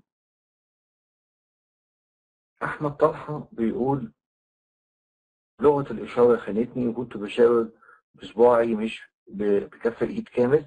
طبعا يا أحمد دي مشكلة لأن الصباع ده فيها لهجة أمر أو تهديد فبنحاول نتجنبه. التدريب فيها الأولى مش المراية التدريب فيها مع أهل بيتك وأصحابك. يعني أنت هتسأل أهل بيتك إن أنت وأنت معاهم في الحوار اليومي يراقبوك ويقولوا لك أول ما ترفع صباعك. ده التدريب بالطريقة دي هيبقى أفضل. أستاذة آية بتقول التدريب الرسمي اللي بتفرضه المؤسسة على العاملين بيبقى أصعب من التدريب الحر اللي المتدرب فيه هو اللي بيدور على المعرفة. يعني إلى حد ما كلامك مظبوط لأن ممكن تلاقي حد جاي غصب عنه. بيعمل ريزيستنس عالي أو مقاومة كبيرة ويبقى في الغالب مش عايز يسمع لك أصلا. أيوة أستاذة هالة عنصر المفاجأة مقصود بيه التهيئة مقصود بيه كسر الجليد ومقصود بيه جذب الانتباه. إدارة أول خمسة أو عشر دقائق في المحاضرة. إيهاب الصغير. أعتقد أنت كنت معانا يا إيهاب وإحنا بنتكلم على حتة المتدرب المشاغب وقلنا إن إحنا هنقولها في مهارات العرض والتقديم. عشان بس ما نقولش كلام وأرجع أعيده تاني. فأنا هستأذنك مش هنسأل دلوقتي عن المتدرب المشاغب وهنوفق سؤالك لما نشرح إحنا اللي عندنا. هل من الممكن الأستاذ منيف بيقول هل من الممكن تخيل سيناريو ينسجم مع الموضوع وليس شرط أن يكون الموقف الحقيقي. ممكن طبعا يا أستاذ منيف مع ملاحظة أن حضرتك لازم توضح المتخيل. يعني إيه؟ يعني لازم تقول للناس أن أنت مش بتحكي لهم قصة حقيقية. تقول لهم أن يحكى أن. كلمة يحكى أن دي معناها أنه تخيل غير أن أنت تقول لهم مرة في واحد فده معناه أنت بتحكي قصة حقيقية. أرجو أن يكون الفرق واضح. طيب هاتوا لنا جمال عبد الناصر. هاتوا لنا جمال عبد الناصر ونشوف وضعه إيه. جمال عبد الناصر أنت جاهز صح؟ هاي ممكن نجرب جمال يا باشمهندسة؟ في دقيقتين يا جمال هتحكي لي أصعب موقف في أي مجال. السلام عليكم. ألو؟ لو أولا يكون واحد طيب. تمام جدا. هو أصعب موقف اتحطيت فيه كنت في محاضرة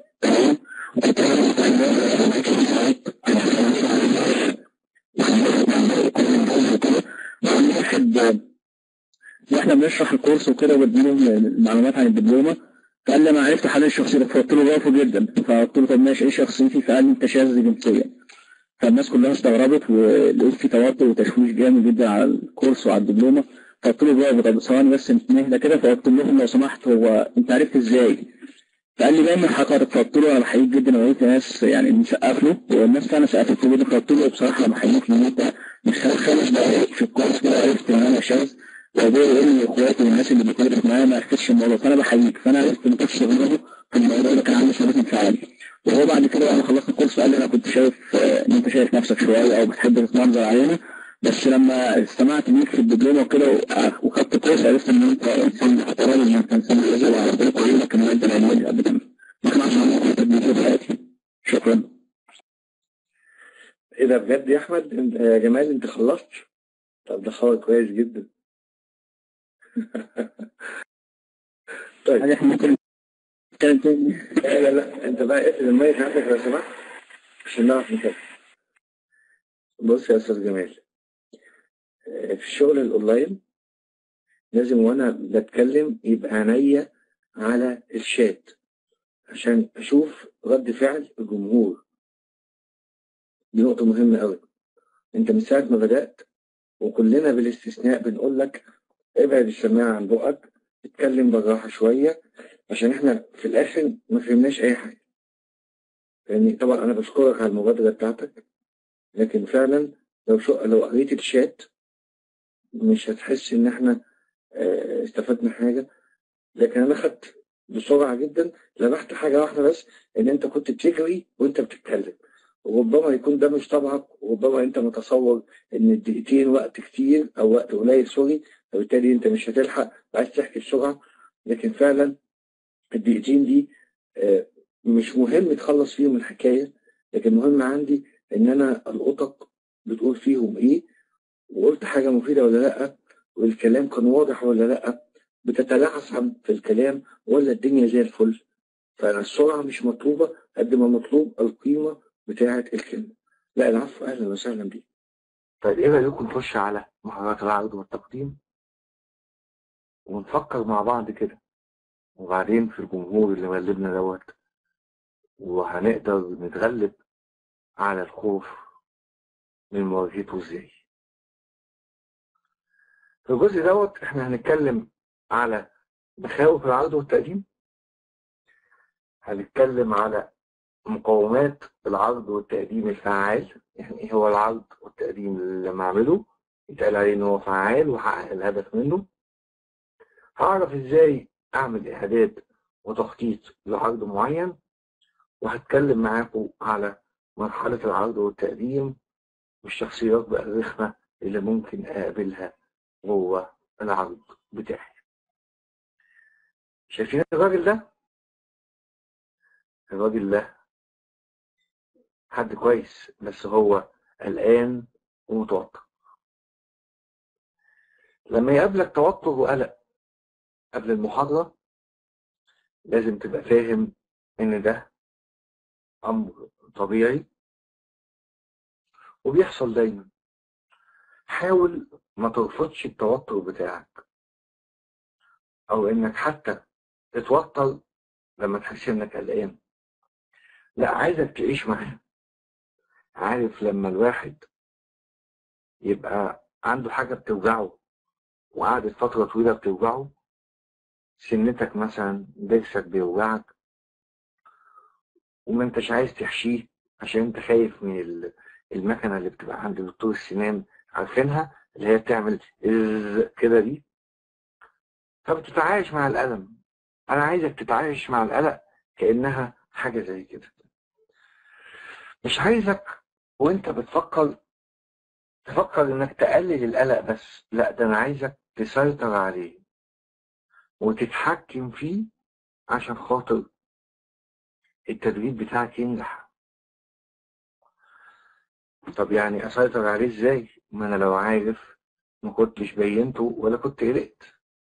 قال لك لازم عشان تسيطر على التوتر والقلق والخوف لازم تعرف السبب وتحاول تواجهه. إذا هي مش قصة إن أنا أتغلب على التوتر. لا ده إحنا عايزين نجيب أم التوتر. أم التوتر يعني سببه. ونعرف السبب إيه ونعالجه. تيجي تخش على الخوف هتلاقي الخوف ويمكن يجيلك من كذا نقطة. يا إما خوف من الفشل أنا هدي محاضرة محدش هيفهم مني حاجة والناس هتطلع تقول عليا مدرب فاشل ومحدش هيحس إن أنا بذلت مجهود أنا خايف. في واحدة تقول يعني أنا هخش المحاضرة ألاقي الناس كلها بصالي لا لا لا لا, لا أنا مش هروح. فده خايف أو خايفة من إن المتدربين يركزوا عليها. إنك تخش مكان تلاقي كل الناس بتبص لك. يا نهار أبيض. وفي حد تاني يبقى خايف إن المتدربين يتريقوا عليه. خايف إن هو يتلعثم في الكلام. خايف إن هو ينسى. فتقوم الناس متريقة. خايف إن هو يغلط وهو بيعمل تدريب قدام مستويات وظيفية أعلى. كل دي أسباب من أسباب الخوف الكتير قوي اللي هو صعب نلمها لكن كل اللي طالبينه منك إنك تستخدم العوامل اللي هقول لك عليها دي.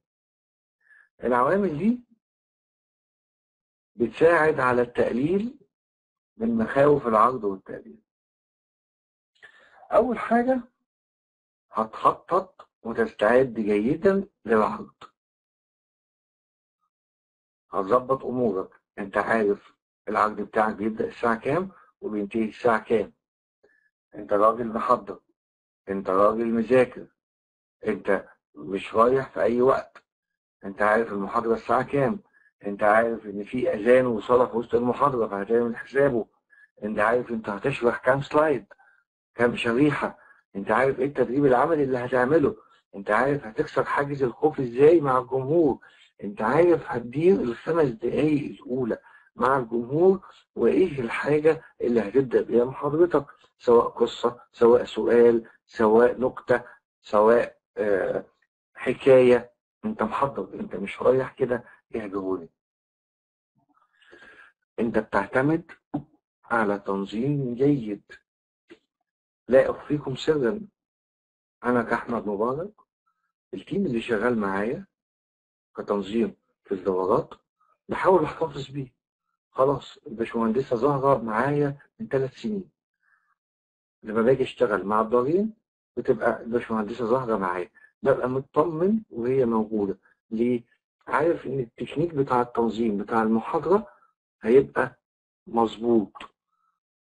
عندي تاني محمد عبد الرحمن هو مش موجود معانا للأسف لظروف الوقت لكن ده راجل برضه معايا لما بيكون موجود بطمن. ده على سبيل المثال عايز أقول لكم عندي مثلا لما باجي أشتغل مع جمعية رسالة معروف لما يكون أحمد مبارك نازل يوم جمعة في جمعية رسالة معروف إن واحد اسمه محمد برادي هو المنظم الوحيد اللي أنا بثق في تنظيمه. يعني لازم بضغط على الإدارة بقول لهم عايز محمد برادي خلاص لما بيكون في تنظيم جيد أنت بتبقى مطمن مش شاغل دماغك بإداريات واثق إن بفضل من ربنا سبحانه وتعالى الدورة هتنجح. عامل تاني من العوامل اللي بيساعد على التقليل من مخاوف العرض والتقديم إن حضرتك تتخيل الجمهور وتتصور اللي هيحصل لما تدخل وتتخيل الناس وهي قاعدة معاك. فلما تتخيل ممكن تقف قدام المراية وتحكي كأنك قاعد قدامهم. ممكن تبص تلاقي نفسك بتسجل لنفسك كأنك قاعد قدام الجمهور بتتكلم كل ده وارد وكل ده ما فيهوش أي مشكلة. عامل الصدق. إن حضرتك تبقى صادق في الحاجة اللي بتحكيها. تبقى الماتيريال اللي بتشرح منها بتاعتك ما أنتش مقلبها من مدرب زميلك. تبقى المعلومة بتاعتك لما هتقول حاجة منقولة هتكتب منقولة تحت. لو نقلت حاجة ولعبت فيها هتكتب تحت منقول بتصرف. هتبقى صادق مع نفسك. حاجة مهمة أوي إنك تتمرن وتتدرب على المحاضرة. طب هتدرب إزاي؟ يا أخي طب ما تسجل لنفسك. طب ما تسمع نفسك كده وأنت بتعمل التدريب. مش يمكن تكتشف أخطاء في نفسك. مش ممكن تلاقي نفسك بتتكلم بسرعة فتبقى عايز تقلل السرعة بتاعتك. فبالتالي لما هتسمع نفسك هتلاقي ملاحظات غيرك مش لاقيها فيك وهتبدأ تحسنها طب وانت داخل العرض بتاعك بتبقى حاسس إن المتدربين دول صحابك وحبايبك وعايز تكبرهم ولا أعداء وعايز تقهرهم؟ طيب لما بتدخل المحاضرة بتاعتك بتفضل تتكلم تتكلم تتكلم ويجي حد يرفع إيده وتكتمه وتخرسه وممنوع الأسئلة والأسئلة في آخر خمس دقايق وتيجي آخر خمس دقايق تقوم واخد بعضك وماشي ولا بتديهم فرصة يتكلموا. فبنقول لك اوعى تمسك المايك وتنسى نفسك وتتجاهل ردود افعال اللي قدامك وتمنعهم من إن هم يتبادلوا معاك أطراف الحديث. وتذكر أن المحاضرة الناجحة والدورة التدريبية الفعالة هي اللي تبقى ماشية ping pong. يعني هات وخد. يعني مدرب ومتدرب محاضر ومنصتين للمحاضرة ففي شد وجذب في القعدة. اوعى تفتكر إن المحاضرة الناجحة بتبقى one way اتجاه واحد على الإطلاق. لازم two ways رايحة وجاية. وإنت بتتحرك استهدى بالله كده؟ ومش لغة الجسد معناها إنك تتنطط وتبقى مكوك رايح جاي. وتخطف انتباه الناس رايح جاي فتشتتهم عن الكلام اللي انت بتقوله. الحركة لازم تكون بحدود وبحساب. إذا الحركة ملهاش لازمة يبقى هتوفرها. النقطة اللي بعد كده بتتكلم عن الاتصال البصري. انت في البداية بتبقى خايف من إنك توزع نظراتك على كل اللي موجودين. ربما تكون انت أصلا كشخصية لما بتيجي تتكلم مع حد ما بتحبش تبص في عينيه طيب ما تيجي نلعب بديل؟ نلعب لعبة بديلة. ممكن ما تبصش في عيون اللي قدامك ممكن تبص في مناخيرهم إيه رأيك؟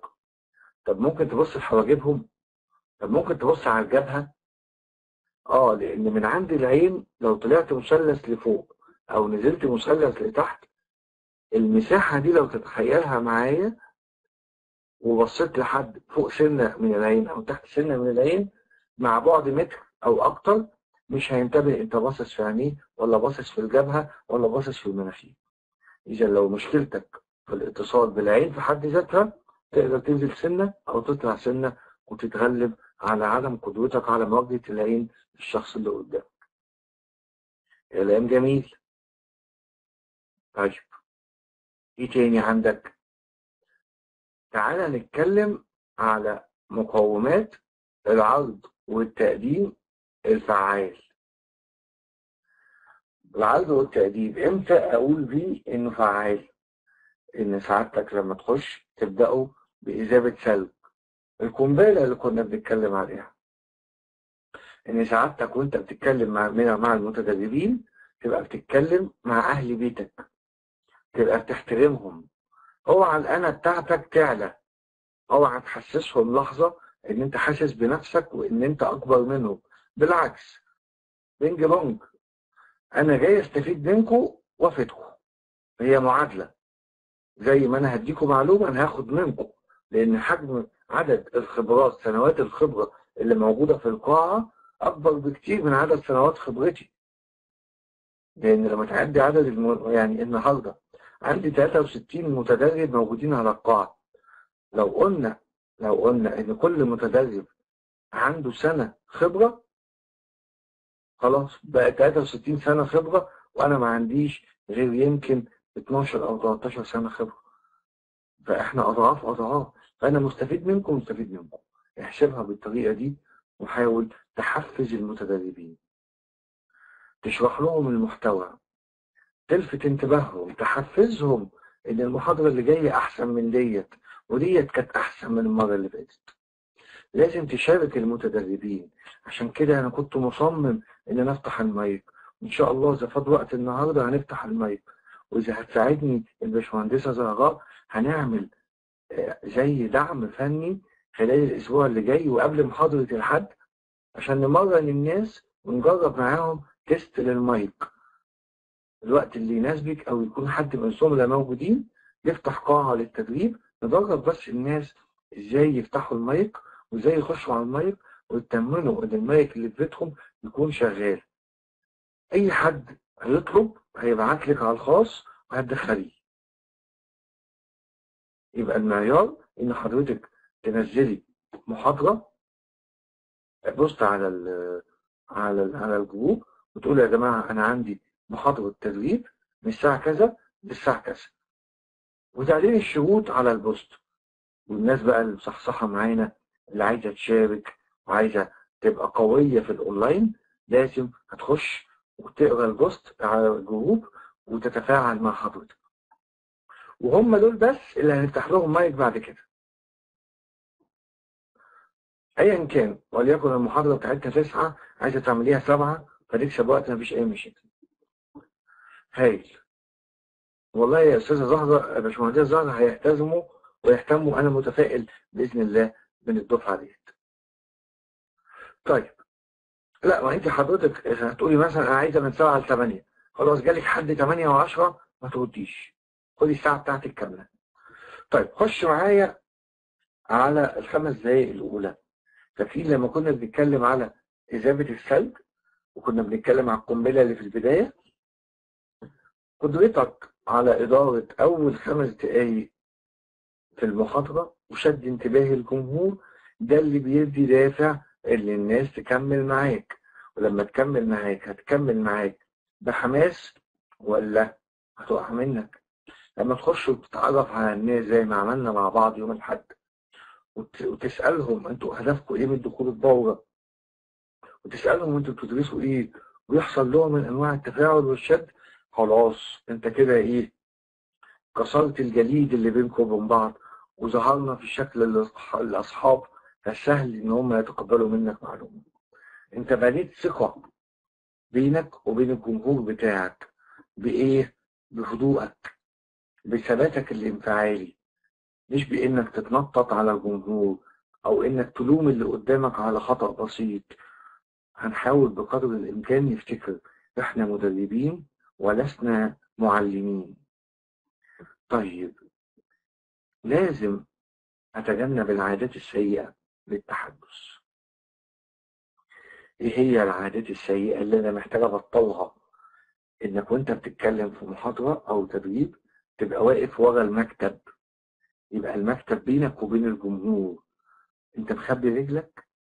طب انت مخبي رعشة ايديك فحطيتها ورا المكتب؟ لازم تبقى انت في مواجهة الجمهور. مفيش فرق بين مفيش حاجز بينك وبين جمهورك. اوعى تفضل تتكلم طول المحاضرة.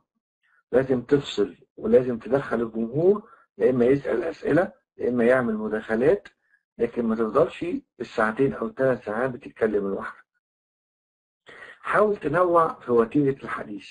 شوية تتكلم بسرعة بسرعة بسرعة وشوية تهدي خالص. شوية تعلي صوتك وشوية توطي صوتك. وأوعى تعيد الكلام بدون مبرر. المبرر إيه لإعادة الكلام؟ إن حد يطلب منك إنك تعيد لأنه ما فهمش. هنا لازم تكرر السرد وتعيد تاني. طيب لو حد جه قال لك أنا كنت متأخر عيد لي ما ينفعش. ليه؟ لأنه هياخد على كده. هيتأخر كل شوية ويرجع ومستنيك تعاد له طب لو حد قال لك الكهرباء قطعت عيد لي طيب مش الإعادة دي من وقت الناس اللي كانت موجودة والكهرباء ما قطعتش عندها؟ طيب أنت عندك بديل ليه ولا ما عندكش؟ إذا عندك بديل ليه وفي تسجيل فهو يقدر يسمع اللي اتقال من خلال التسجيل يبقى حضرتك مش هتعيد. لكن إذا ما عندكش تسجيل ومفيش بديل غير ان أنت تعيد تاني فأنت هنا مضطر تعيد.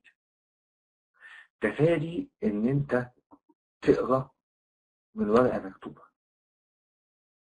ما ينفعش تبقى بتدي محاضرة وعينك في الورقة وعمال تتكلم. لكن ينفع يبقى في ورقة صغيرة إذا كان مفيش داتا شو يبقى فيها العناصر الرئيسية اللي حضرتك تلمح بس من طرف الورقة اسم العنصر وتبدأ ترتجل ترتجل مش كلام لأول مرة تقوله لكن هترتجل بناء على المادة العلمية اللي أنت كنت بتذاكرها امبارح بالليل. تعال نتكلم على التخطيط للعرض. إزاي اخطط للعرض. أول حاجة لازم أبقى أنا عارف الهدف من العرض بتاعي. أنا الهدف بتاعي إيه آه أنا عايز أكسب حضرتك مجموعة من المهارات وأديك شوية معرفة عشان تؤهلك إن أنت تبقى مدرب محترف بهدف. طيب عشان أعمل الهدف دوت بدأت أحلل الفئة الموجودة عندي. الجمهور هو أنا عايز ناس قد إيه؟ طب سنهم من كام لكام؟ طيب المؤهل العلمي بتاعهم إيه؟ طيب الجمهور اللي جاي دوت هو إيه احتياجاته؟ هم جايين عشان يبقوا مدربين يبقوا هم محتاجين عرض وتقديم محتاجين استراتيجيات وأساليب تدريب محتاجين إزاي يعملوا حقيبة تدريبية. يبقى لما حددت الهدف قدرت أعرف وأستنتج احتياجات الجمهور اللي جاي يحضر بهدف محدد. طيب لما عرفت الاحتياجات طب يا ترى اخترت الأسلوب المناسب اللي هوصل بيه المهارة اللي الجمهور محتاجها؟ هعرضها إزاي؟ ولما أجي أستخدم عملي هقدر أستخدمه إزاي؟ آه لا يبقى أنا هخليهم يخشوا يعملوا مداخلات. طب لما يبقى في مشكلة ومش عارفين يستخدموا المية آه يبقى أنا على طول أوفر طريقة تانية بإني أعمل تدريب عملي على المية وهكذا. إذا أنا بفكر في أساليب بتؤدي إلى نتائج أفضل. قبل المحاضرة لازم تروح تزور المكان كده. تشوف المكان بتاعك اللي هتشتغل فيه الأجهزة المتاحة وشوف مساحة القاعة مناسبة للعدد ولا لأ. طبعا إحنا هنا مش بنتكلم على القاعة الصوتية. إحنا هنا بنتكلم على القاعة اللي هي ميدانيا أو القاعة المباشرة اللي هي face to face وفي نفس الوقت القاعة الصوتية أنت عندك قاعات بتبقى محدودة ب 25 كرسي القاعة الصوتية فساعتها مفيش داعي إن حضرتك تاخد حجز أكتر من 25 في قاعات 50 القاعة بتاعت الدارين مفتوحة كبيرة ما شاء الله فبالتالي إحنا مش محددينها بعدد فهي مستوعبة ال 62 فرد اللي موجودين لكن في قاعات بتبقى 25 وفي قاعات 50 فهنا أنت لازم تكون ملتزم بالحجز لعدد بيساوي عدد الأماكن اللي ممكن تخش القاعة لأن اللي بيحصل في القاعات الأونلاين إن هي بتبقى بطيئة بعد كده والصوت ما بيوصلش لو العدد زاد نرجع بقى للقاعة ال live اللي هي المباشرة بتحضر دورة ميدانية. كلمني عن درجة الحرارة. ينفع حضرتك تبقى قاعد؟ جو حر جدا ومفيش شباك تهوية واحد في الغرفة ولا في مراوح ولا في تكييفات؟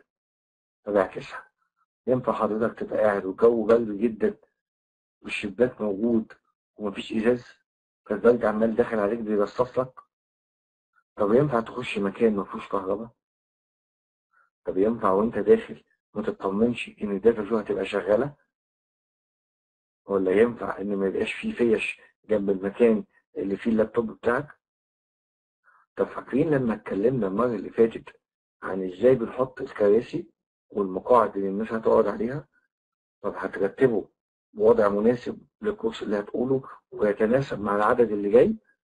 طب انت عارف ان مساعدات العرض مهمة جدا يعني ال laptop وال data show والترابيزة اللي انت هتحط عليها حاجتك مهم جدا تبقى عارف هحطها إزاي في حد بيحب اللابتوب يبقى على يمينه في حد بيحب اللابتوب يبقى على يساره يبقى حضرتك تروح بدري شوية وتظبط المساعدات بتاعة العرض وفقا للطريقة أو الشكل اللي أنت شايف إن هو مناسب لسعادتك.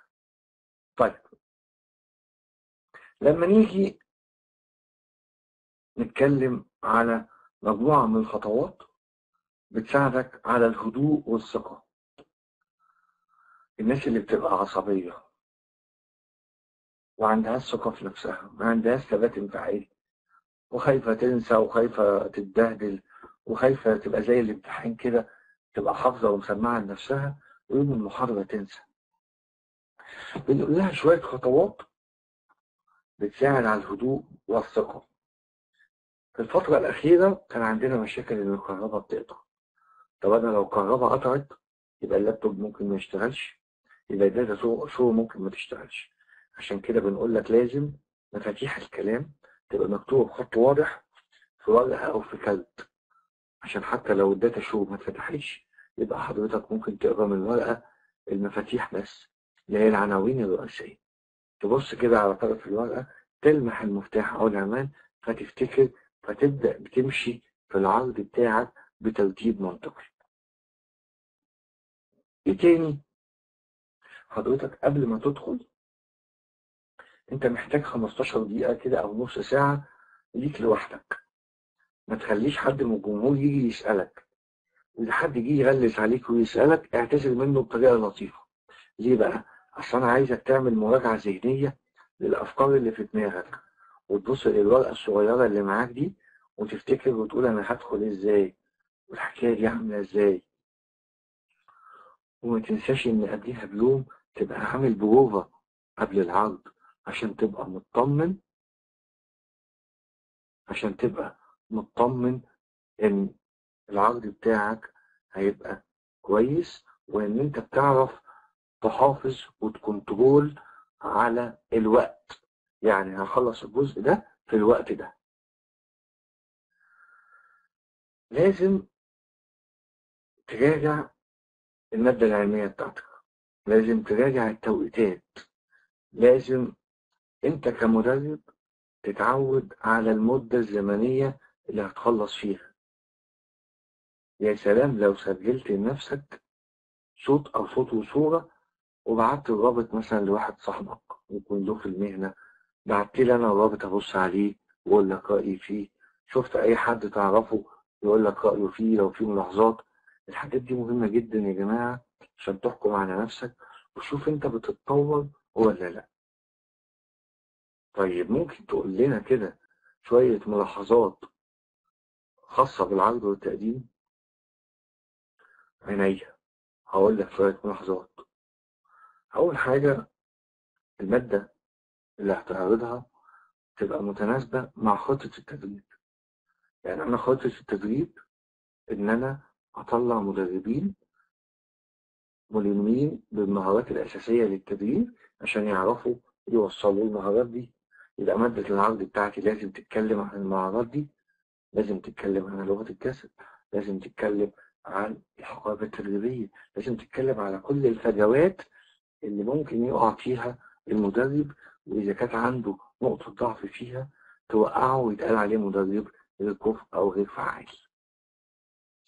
مادة العرض والتقديم بتاعت حضرتك لازم تبقى متقسمة لمقدمة وموضوع وخاتمة. يا سلام لما حضرتك تبدأ معايا بصفحة فيها عنوان المحاضرة بتاعتك. بعد كده صفحة رقم اتنين فيها تعريف أنت مين عرفني بنفسك يبقى اول صفحة فيها اسم المحاضرة بتاعتك أو اسم الكورس بتاعك. صفحة رقم اتنين التعريف بالمدرب؟ صفحة رقم ثلاثة اديني المحتوى اللي انت هتكلمني عنه. إحنا النهاردة هنتكلم عن واحد اتنين تلاتة أربعة. صفحة رقم أربعة تمهيد ده اللي بنسميه المقدمة. رقم خمسة وستة وسبعة ده الموضوع بتاعك. الصفحة اللي قبل الأخيرة هتلاقي فيها الختمة بتاعتك. وتلخص لي اللي انت قلته كله. اللي قبل الأخيرة الخاتمة بتاعتك. وتلخص لي اللي انت قلته كله. وبعدين تسيب لي المراجع. اوعى تعمل مادة علمية من غير ما يكون محطوط فيها المراجع. يعني إيه المراجع؟ يعني المصادر؟ يعني حضرتك وثق لي المادة العلمية بتاعتك؟ قول لي جبت الكلام ده منين؟ أنت جايبه من website؟ اكتب لي اسم ال website. جايبه من كتاب؟ قول لي اسم المؤلف ودار النشر اللي نشرته وطبعة كام. مقلبه من حد؟ اذكر لي اسم الحد دوت. ليه؟ لأن أنا النهاردة بحدد أنا كمتدرب بحدد درجة ثقتي. في المعلومة اللي أنت بتديها لي على حسب المصدر اللي أنت حاطه. ما حطيتليش مصادر ما تزعلش مني لما أشك في المصدر بتاعك وأشك في المعلومة اللي أنت اديتها لي. يبقى مقدمة وموضوع وخاتمة. زي ما قلنا في التذكر اهتم بالبداية واهتم بالنهاية. المدرب دايما بيحب يلقطك في أول خمس دقايق فدي بدايتك. ولازم قبل ما تفنش معاه تطمن من نظرات عينيهم هم انبسطوا ولا لا؟ الفيدباك اللي بيجي التقييمات اللي بتتعمل الناس مبسوطة ولا مش مبسوطة؟ دايما دايما الأخت اللي كانت بتسأل وبتقول إزاي أحافظ على تركيز الناس دايما شد انتباه الجمهور غير أساليبك نوع في التكنيك دخلهم في تدريبات شدهم. اعمل تمرينات وانت قاعد. اعمل تمرينات تنفس وانت قاعد. حركهم. اعمل ورش عمل. شد انتباه الجمهور بانتظام. الشخص اللي قاعد ساكت ما بيتكلمش اقلق منه لازم تدخله معاك. لازم يبقى عندك ثبات انفعالي بحيث إن حتى لو عندك قلق اللي قدامك ما يحسش بيه. لازم تتخلص من أي عصبية أو ارتباك أصل هو ملوش دعوة إن أنت بتخانق مع مراتك. ما تزعليش مني. هو ذنبه إيه؟ ان هو جه حضر محاضرة لواحده قبل المحاضرة اتخانقت مع جوزها فجاية متعصبة. هو ملوش دعوة. يبقى مشاكلك في بيتك دي حاجة تخصك. طالما انت مدربة هتنسي مشاكلك في بيتك وتيجي تدي محاضرة وكأن شيء لم يكن. طول ما انت مش عارفة تعملي كنترول على الحتة دي لو سمحتي خليكي في بيتك ومالكيش دعوة بالتدريب. لما تلاقي نفسك قادرة على إنك تعملي عرض وتقديم بطريقة فير عرض وتقديم بعد ما تتخلصي من أي مشاكل نفسية وعصبية تؤثر على توصيل رسالتك التدريبية للجمهور بتاعك. لو مش قادرة تتخلصي من الكلام ده اقعدي في بيتك. أو اشتغلي أي شغلانة تانية بعيدا عن المجال ده. طيب. في حتة مهمة لازم نتكلم فيها من ضمن الملاحظات بتاعت العودة والتقديم وهي إزاي أرد على الأسئلة. هنا بنتطرق لشوية طرق للرد على الأسئلة. الطريقة الأولى الأسئلة اللي هي محتاجة تفكير واللي هي محتاج كده تسكت مع نفسك ثواني. عشان تجاوبها. احذر إن أنت تقعد تبص في السقف وعينيك تزوق يمين وشمال وأنت بتفكر. لا أنا عايزك وأنت بتفكر. عينيك في عين الشخص اللي سأل السؤال وتبدأ تعيد له السؤال وتعيد الصياغة عشان تكسب وقت على ما تلاقي الإجابة المناسبة. يعني هتقول له آه أنت قصدك تقول إن أنت شربت شاي بعد الأكل والشاي أفضل ولا القهوة؟ أنت عمال تفكر. أنت بتعمل حاجتين في وقت واحد. لسانك بيعيد السؤال بصياغة مختلفة ومخك شغال بيفكر على إجابة فبتلفت انتباهه بتشتته عن إنك بتفكر في إجابة وبتخليه يركز بس في إنك تعيد الصياغة. فأنت شتت اللي قدامك لإعادة الصياغة وأنت في نفس الوقت بتفكر في الإجابة. طيب. ده بالنسبة للأسئلة السهلة. اللي انت عارف إجاباتها بس محتاج تجمع هتقول إيه. طيب لو جابتني أسئلة صعبة وملهاش علاقة بموضوع المحاضرة أعتذر عنها وقول له يكلمك على الخاص بعد كده عشان خاطر ما يضيعش وقت المحاضرة. طيب لو حسيت إن في واحد بيسألك سؤال صعب عشان هو عارفه كويس قوي وعارف إجابته وقصد يسألك عشان يوقعك في غلط. هتعمل إيه؟ هتعكس السؤال. يعني إيه؟ يعني هتقول له السؤال بتاع حضرتك ده كويس قوي وأعتقد إن حضرتك قريت في الموضوع ده كويس. طب لما قريت لقيت إيه؟ هتلاقيه استرسل في الكلام وابتدى يقول لك قراياته فيها إيه؟ وهيقول لك المدارس ومدرسة بتقول كده ومدرسة بتقول كده ساعتها أنت هتختار الأقرب للصواب وهتقول له إن دي مدارس وفي رأي بيقول كده وفي رأي بيقول كده فأنت بالنسبة لك استفتي قلبك بقى شوف أنت إيه اللي يريحك. زي إيه مثلا؟ زي موضوع اللبس. هو أنا كمدرب المفروض أروح ألبس بدلة وأبقى formal ولا ممكن ألبس جينز وأنا بشتغل؟ سؤال وفي اجتهادات وفي مدارس وفي لعبكة. يستحسن نهرب منه. طيب. في سؤال تاني. لما يتسأل لحضرتك وأنت عارف إن في حد في القاعة مدرك للسؤال دوت ويستطيع الرد عليه بنعمل له إعادة توجيه. زي إيه؟ ادينا مثال كده. أنا متعود الدورات بتاعة تدريب المدربين إن هي بتبقى طويلة. بشتغل بفريق عمل فممكن أشتغل معايا اتنين زمايلي أو ثلاثة حسب الحال يعني يمكن كنا أكبر عدد اشتغلناه في تدريب المدربين أربعة وساعات مع النقابة بنشتغل سبع مدربين. تعالى نتكلم على وإحنا شغالين نسأل مع بعض.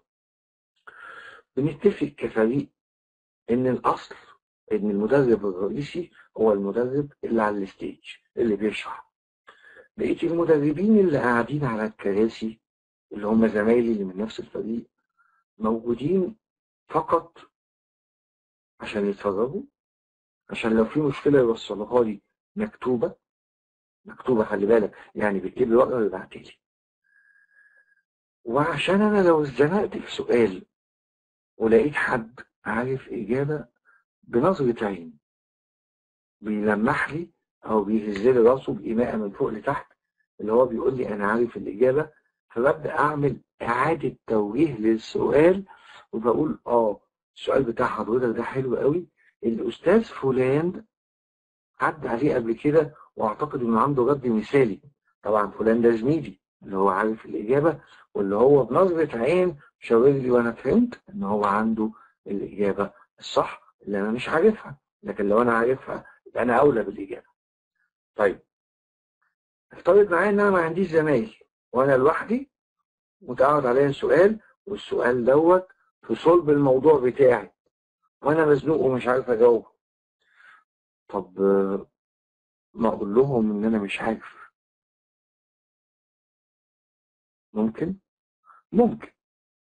بس هتخسر شوية جمهور في حتة زي دي. عشان كده بنفكر في كل الأساليب دي الأول وإذا فقدنا أي كل الأساليب دي معانا كمفاتيح نبدأ بقى إيه؟ نقول إن إحنا مش عارفين وإن إحنا هنرجع لمراجعنا ونحاول نرد عليك في وقت تاني. بس ما تزعلش لما تلاقي المحاضرة التانية الراجل اللي سأل السؤال ده ما جاش وفقد الثقة فيك طب أعمل إيه؟ أنا مش عايز يفقد الثقة فيا. هعمل إسقاط للسؤال على الجمهور. يعني لما هيقول لي السؤال هقول له والله السؤال بتاعك ده حلو قوي طب إيه رأيكم يا جماعة؟ فلان بيسأل عن كذا كذا كذا. يا ترى حد فيكم قابلته مشكلة زي دوت؟ فإن شاء الله بإذن الله ربنا يرزقك بحد يرفع إيده ويقول لك أنا وتبدأ تاخد منه فيدباك إذا قفلت منك ومحدش رفع إيده ودي نادرا لما بتحصل خلاص هيبقى البديل الأخير إن حضرتك تقول لهم طيب على العموم النقطة دي محل دراسة من ناس كتير وفيها توجهات وفيها مدارس وأنا هستأذنك أنا عشان أقدر أرد عليك برأي قاطع محتاج أرجع لمصادري وهنتواصل مع بعض على الفيس مثلا أو على التليفون وهديك إجابة منطقية مثلا النهارده بالليل أو بكرة إن شاء الله.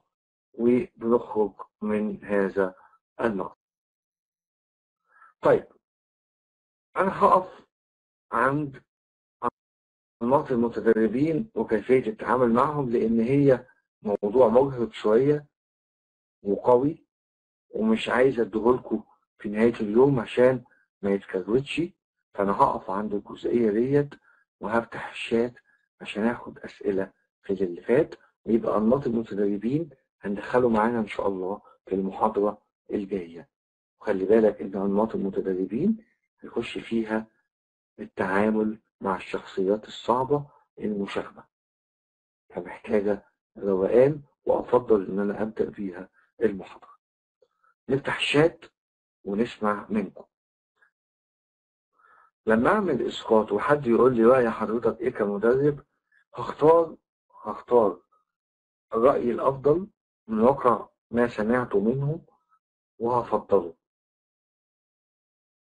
لكن إذا أنا مش عارف أختار فأنا في حالة زي كده هقول إن أنا من وجهة نظري أنا بتبع الأسلوب الفلاني وهنا طالما قلت من وجهة نظري فهو غير ملزم للي قدامك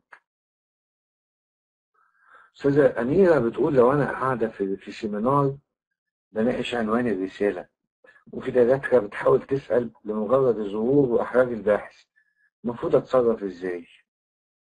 هنا يا أستاذة أميرة هتتصرفي إزاي لما نخش في أنماط المتدربين اللي هي قدام حضرتك دلوقتي واللي هي هنشرحها الساعة 9 يوم الأحد اللي جاي إن شاء الله؟ لأن فيها حاجات كويسة جدا وهتفيدك في المواقف اللي زي دي. إمتى تتصرفي الطيبة وإمتى تقرصي اللي قدامك وإمتى تبرئي اللي قدامك وكله بالأدب وفيما لا يخالف شرع الله. طيب نعيم بيقول أنا أعتقد إن لو قلت مش عارف ده هيعطيني مصداقية في باقي في باقي التدريب. والله منطق يا أستاذ نعيم. خليك أنت في مادتك وفي الحاجة اللي أنت جاي تشرحها لي واللي أنا جاي أحضر لك عشان أسمعها وأسألك فيها سؤال وقول لي مش عارف. ده قصور منك يا أستاذ نعيم. أنت بتبقى قصرت في دراسة مادتك وقصرت في المادة العلمية اللي حاططها. وقصرت كمان تجاهي أنا كمتدرب في إنك مش ملم بالمادة خليني بقى أنا كمتدرب أحضر لك وأعرف إن أنت قصرت وبقابلني لو حضرت لك تاني. مها هل مع التمرين والممارسة نتخلص من التوتر؟ أم تقل درجته بس.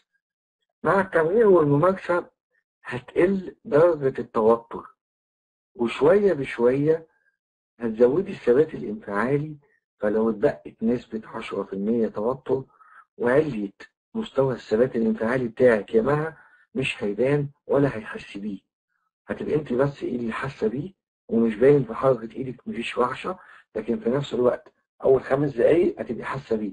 مع اندماجك في الشرح هتنسيه شوية بشوية لكن مع كل محاضرة هيبقى في توتر كده في الأول وده حاجة عادية على فكرة ظاهرة صحية زي التوتر اللي كان بيجي لك ساعة الامتحان وبتخرجي من الامتحان جايبة امتياز فاهماني؟ أبانو بيقول أنا في بداية المشوار التدريبي إزاي أجيب معلومات من عندي أكيد كل الماتيريال هتكون مصادرة الآخرين ولا دي بقى بتيجي بالممارسة طب وهي المعلومات اللي جاية من الآخرين إيه المشكلة لما تبقى عارفها يا أبانو؟ هتدرس المعلومات بتاعت الآخرين هم الآخرين جايبين منين؟ معلش 90% 99% من اللي بيشتغلوا في التدريب ناقلين من بعض.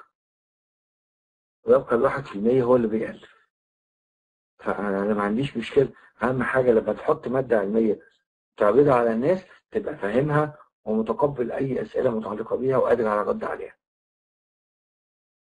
أستاذ محمد نصر الدين لو حد سأل سؤال وعايز يختبرني فيه وأنا أعكس السؤال هذا أيضا يدل على معرفتي على عدم معرفتي للسؤال والله يا أستاذ محمد الكلام ده لو كنت عرفت الموضوع دوت قبل ما أنا أقول لك. يعني أنا لو كنت دلوقتي بشتغل معاكم presentation skills أو communication skills مش دورة تدريب مدربين ما كنتش هديك المفاتيح دي. وكنت هتخش معايا زي الفل وأعكس السؤال عليك. يعني أنت عارف عاملة إزاي يا محمد؟ ببساطة شديدة جدا.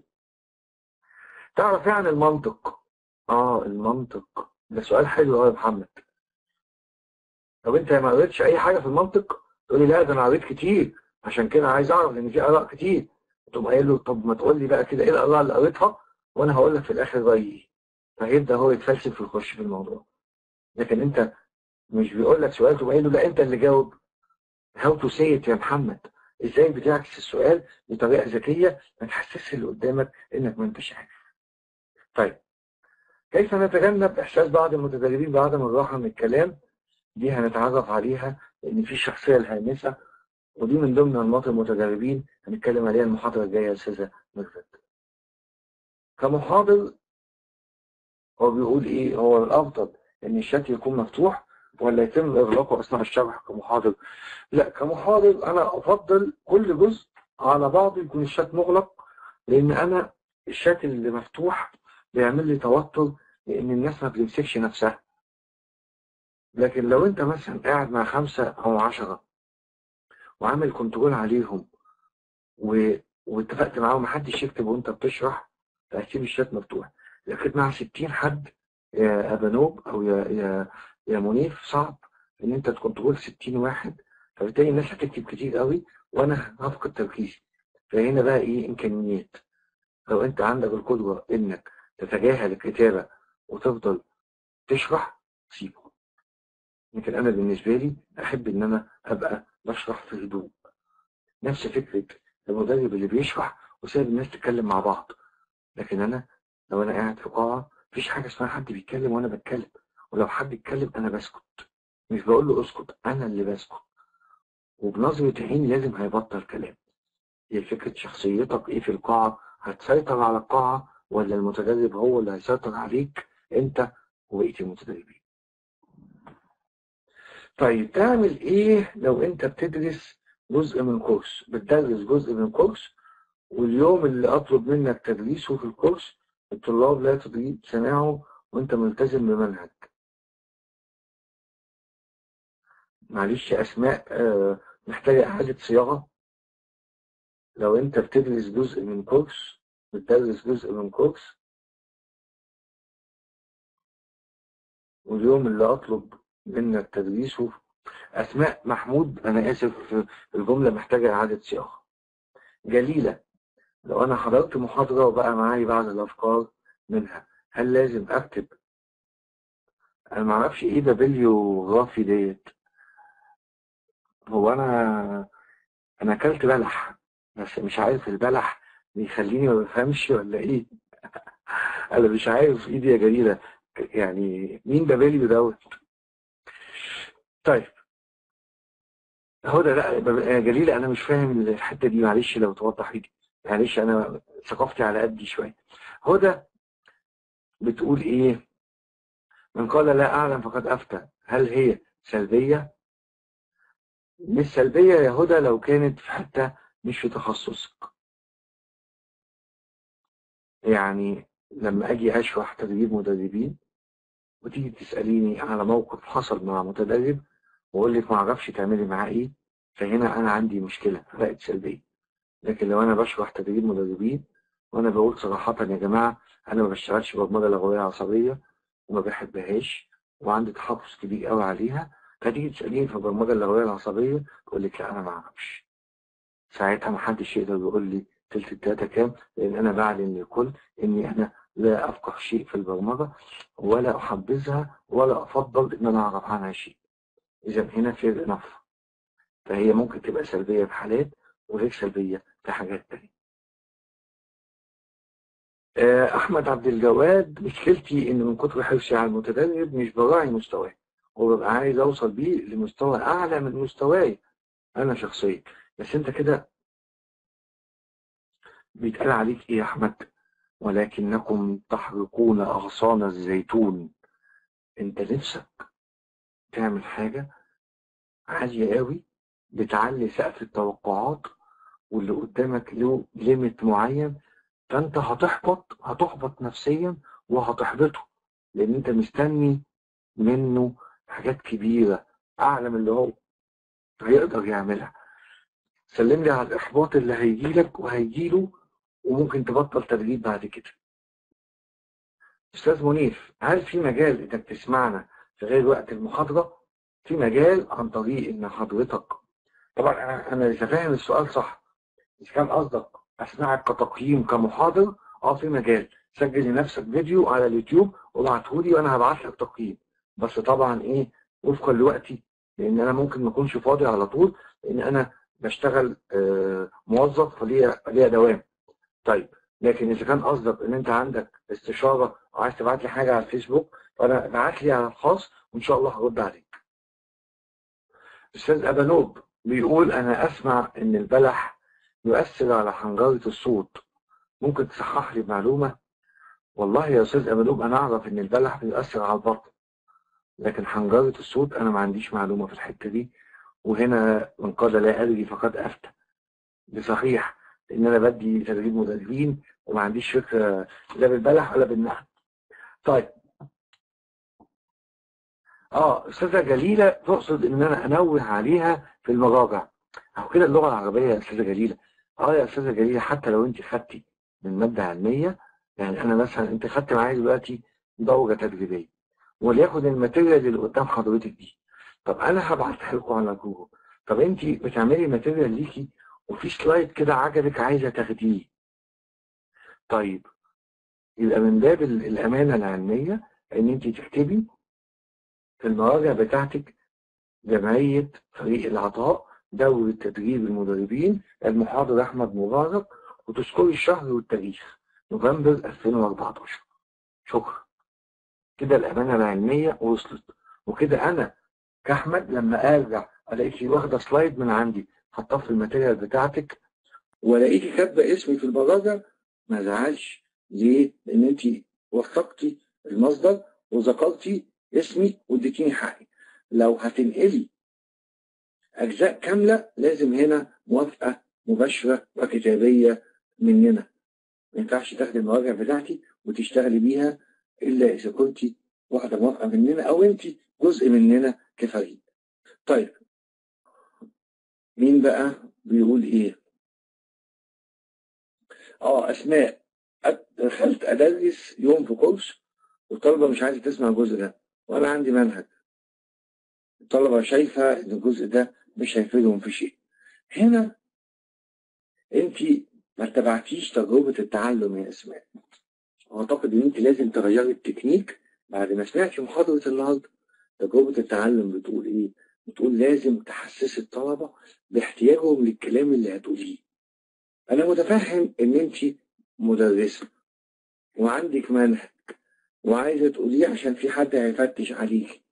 لكن خلي بالك أنا كحد قاعد لو ما حسيتش بأهمية الحاجة مش هعملها. دورك إنك تشوفي الحاجة دي هتفيدهم في إيه وتقوليها لهم. لازم تخلقي احتياج للحاجة ديت. لو ما عرفتيش تخلقي الاحتياج كل سنة وأنت طيبة مش هتقدري توصلي إيمان بتقول أعتقد ضروري تكون واضع لمستك في المادة العلمية. بعض المدربين ممكن يكون حافظ ومش فاهم. ونفس الكلام بيتكرر مجموعة من الناس بيشمل ذلك الأمثلة. آه طبعا أنا بتفق مع حضرتك. والناس بتنقل من بعضها. واللي فاهم بيبان عن اللي مش فاهم في طريقته في الرد على الأسئلة. لأن اللي حافظ مش هيعرف لو جبت له كلمة قبل كلمة هتلاقيه اتلخبط وما عرفش يجاوب وجهة نظرك صحيحة يا إيمان. طيب عندنا أسئلة تاني. هدى حسن آل شريان. عشان خاطري يا هدى عشان خاطري ليكوا كلكم الشخصيات والتعاملات في السلايد اللي قدامكم دوت هندرسها إن شاء الله مع بعض تفصيليا المرة اللي جاية. زي ما قلت لكم بلاش ناخدها آخر النهار لأن دي محتاجة تركيز ومحتاجة الناس تبقى رايقة وأنا مش عايز أكروتها عايز أديها بمزاج. أبانوب يعني أكتب الأمانة العلمية في ال PowerPoint بس ولا أذكرها كمان في شرح للمتدربين؟ لا يا أبانوب ما تذكرهاش لكن وأنت بتخلص هتخش على آخر slide وتقول يا جماعة هي دي المراجع اللي أنا عملتها. استخدمتها أوريها لك إزاي بص يا أبانوب خليك معايا ركز معايا كده. بص الحتة اللي جاية ديت. هي دي يا جماعة المراجع اللي أنا استخدمتها في إعداد المادة العلمية بتاعتي. بص يا بنوب أنا حاطط 11 مرجع هو أنا بقى دوري إن أنا أقعد أقول لك واحد المدرب ديون طبعا 10 مكتبة كذا السعودية اثنين 201 طريقة للتعامل مع طبعا أنا مش دوري إن أنا أقرأ الكلام ده كله ولا هتفرق في حاجة. كل اللي مطلوب منك تحط السلايد قدام الناس وتقول لهم يا جماعة ده السلايد اللي أنا جبت منه كل حاجة. بص يا أستاذة آه الأخ اللي كان أفانوب تقريبا كان بيقول على البلح إن هو مضر بص بقى الأستاذة إيمان بتقول إيه؟ الأستاذة إيمان بتقول رغم إن خطها صغير لكن هي عجبني الكلام. كأخصائية تغذية أنصحكم بالتمر والعسل والعنب المجفف قبل المحاضرات. تدي طاقة وتركيز.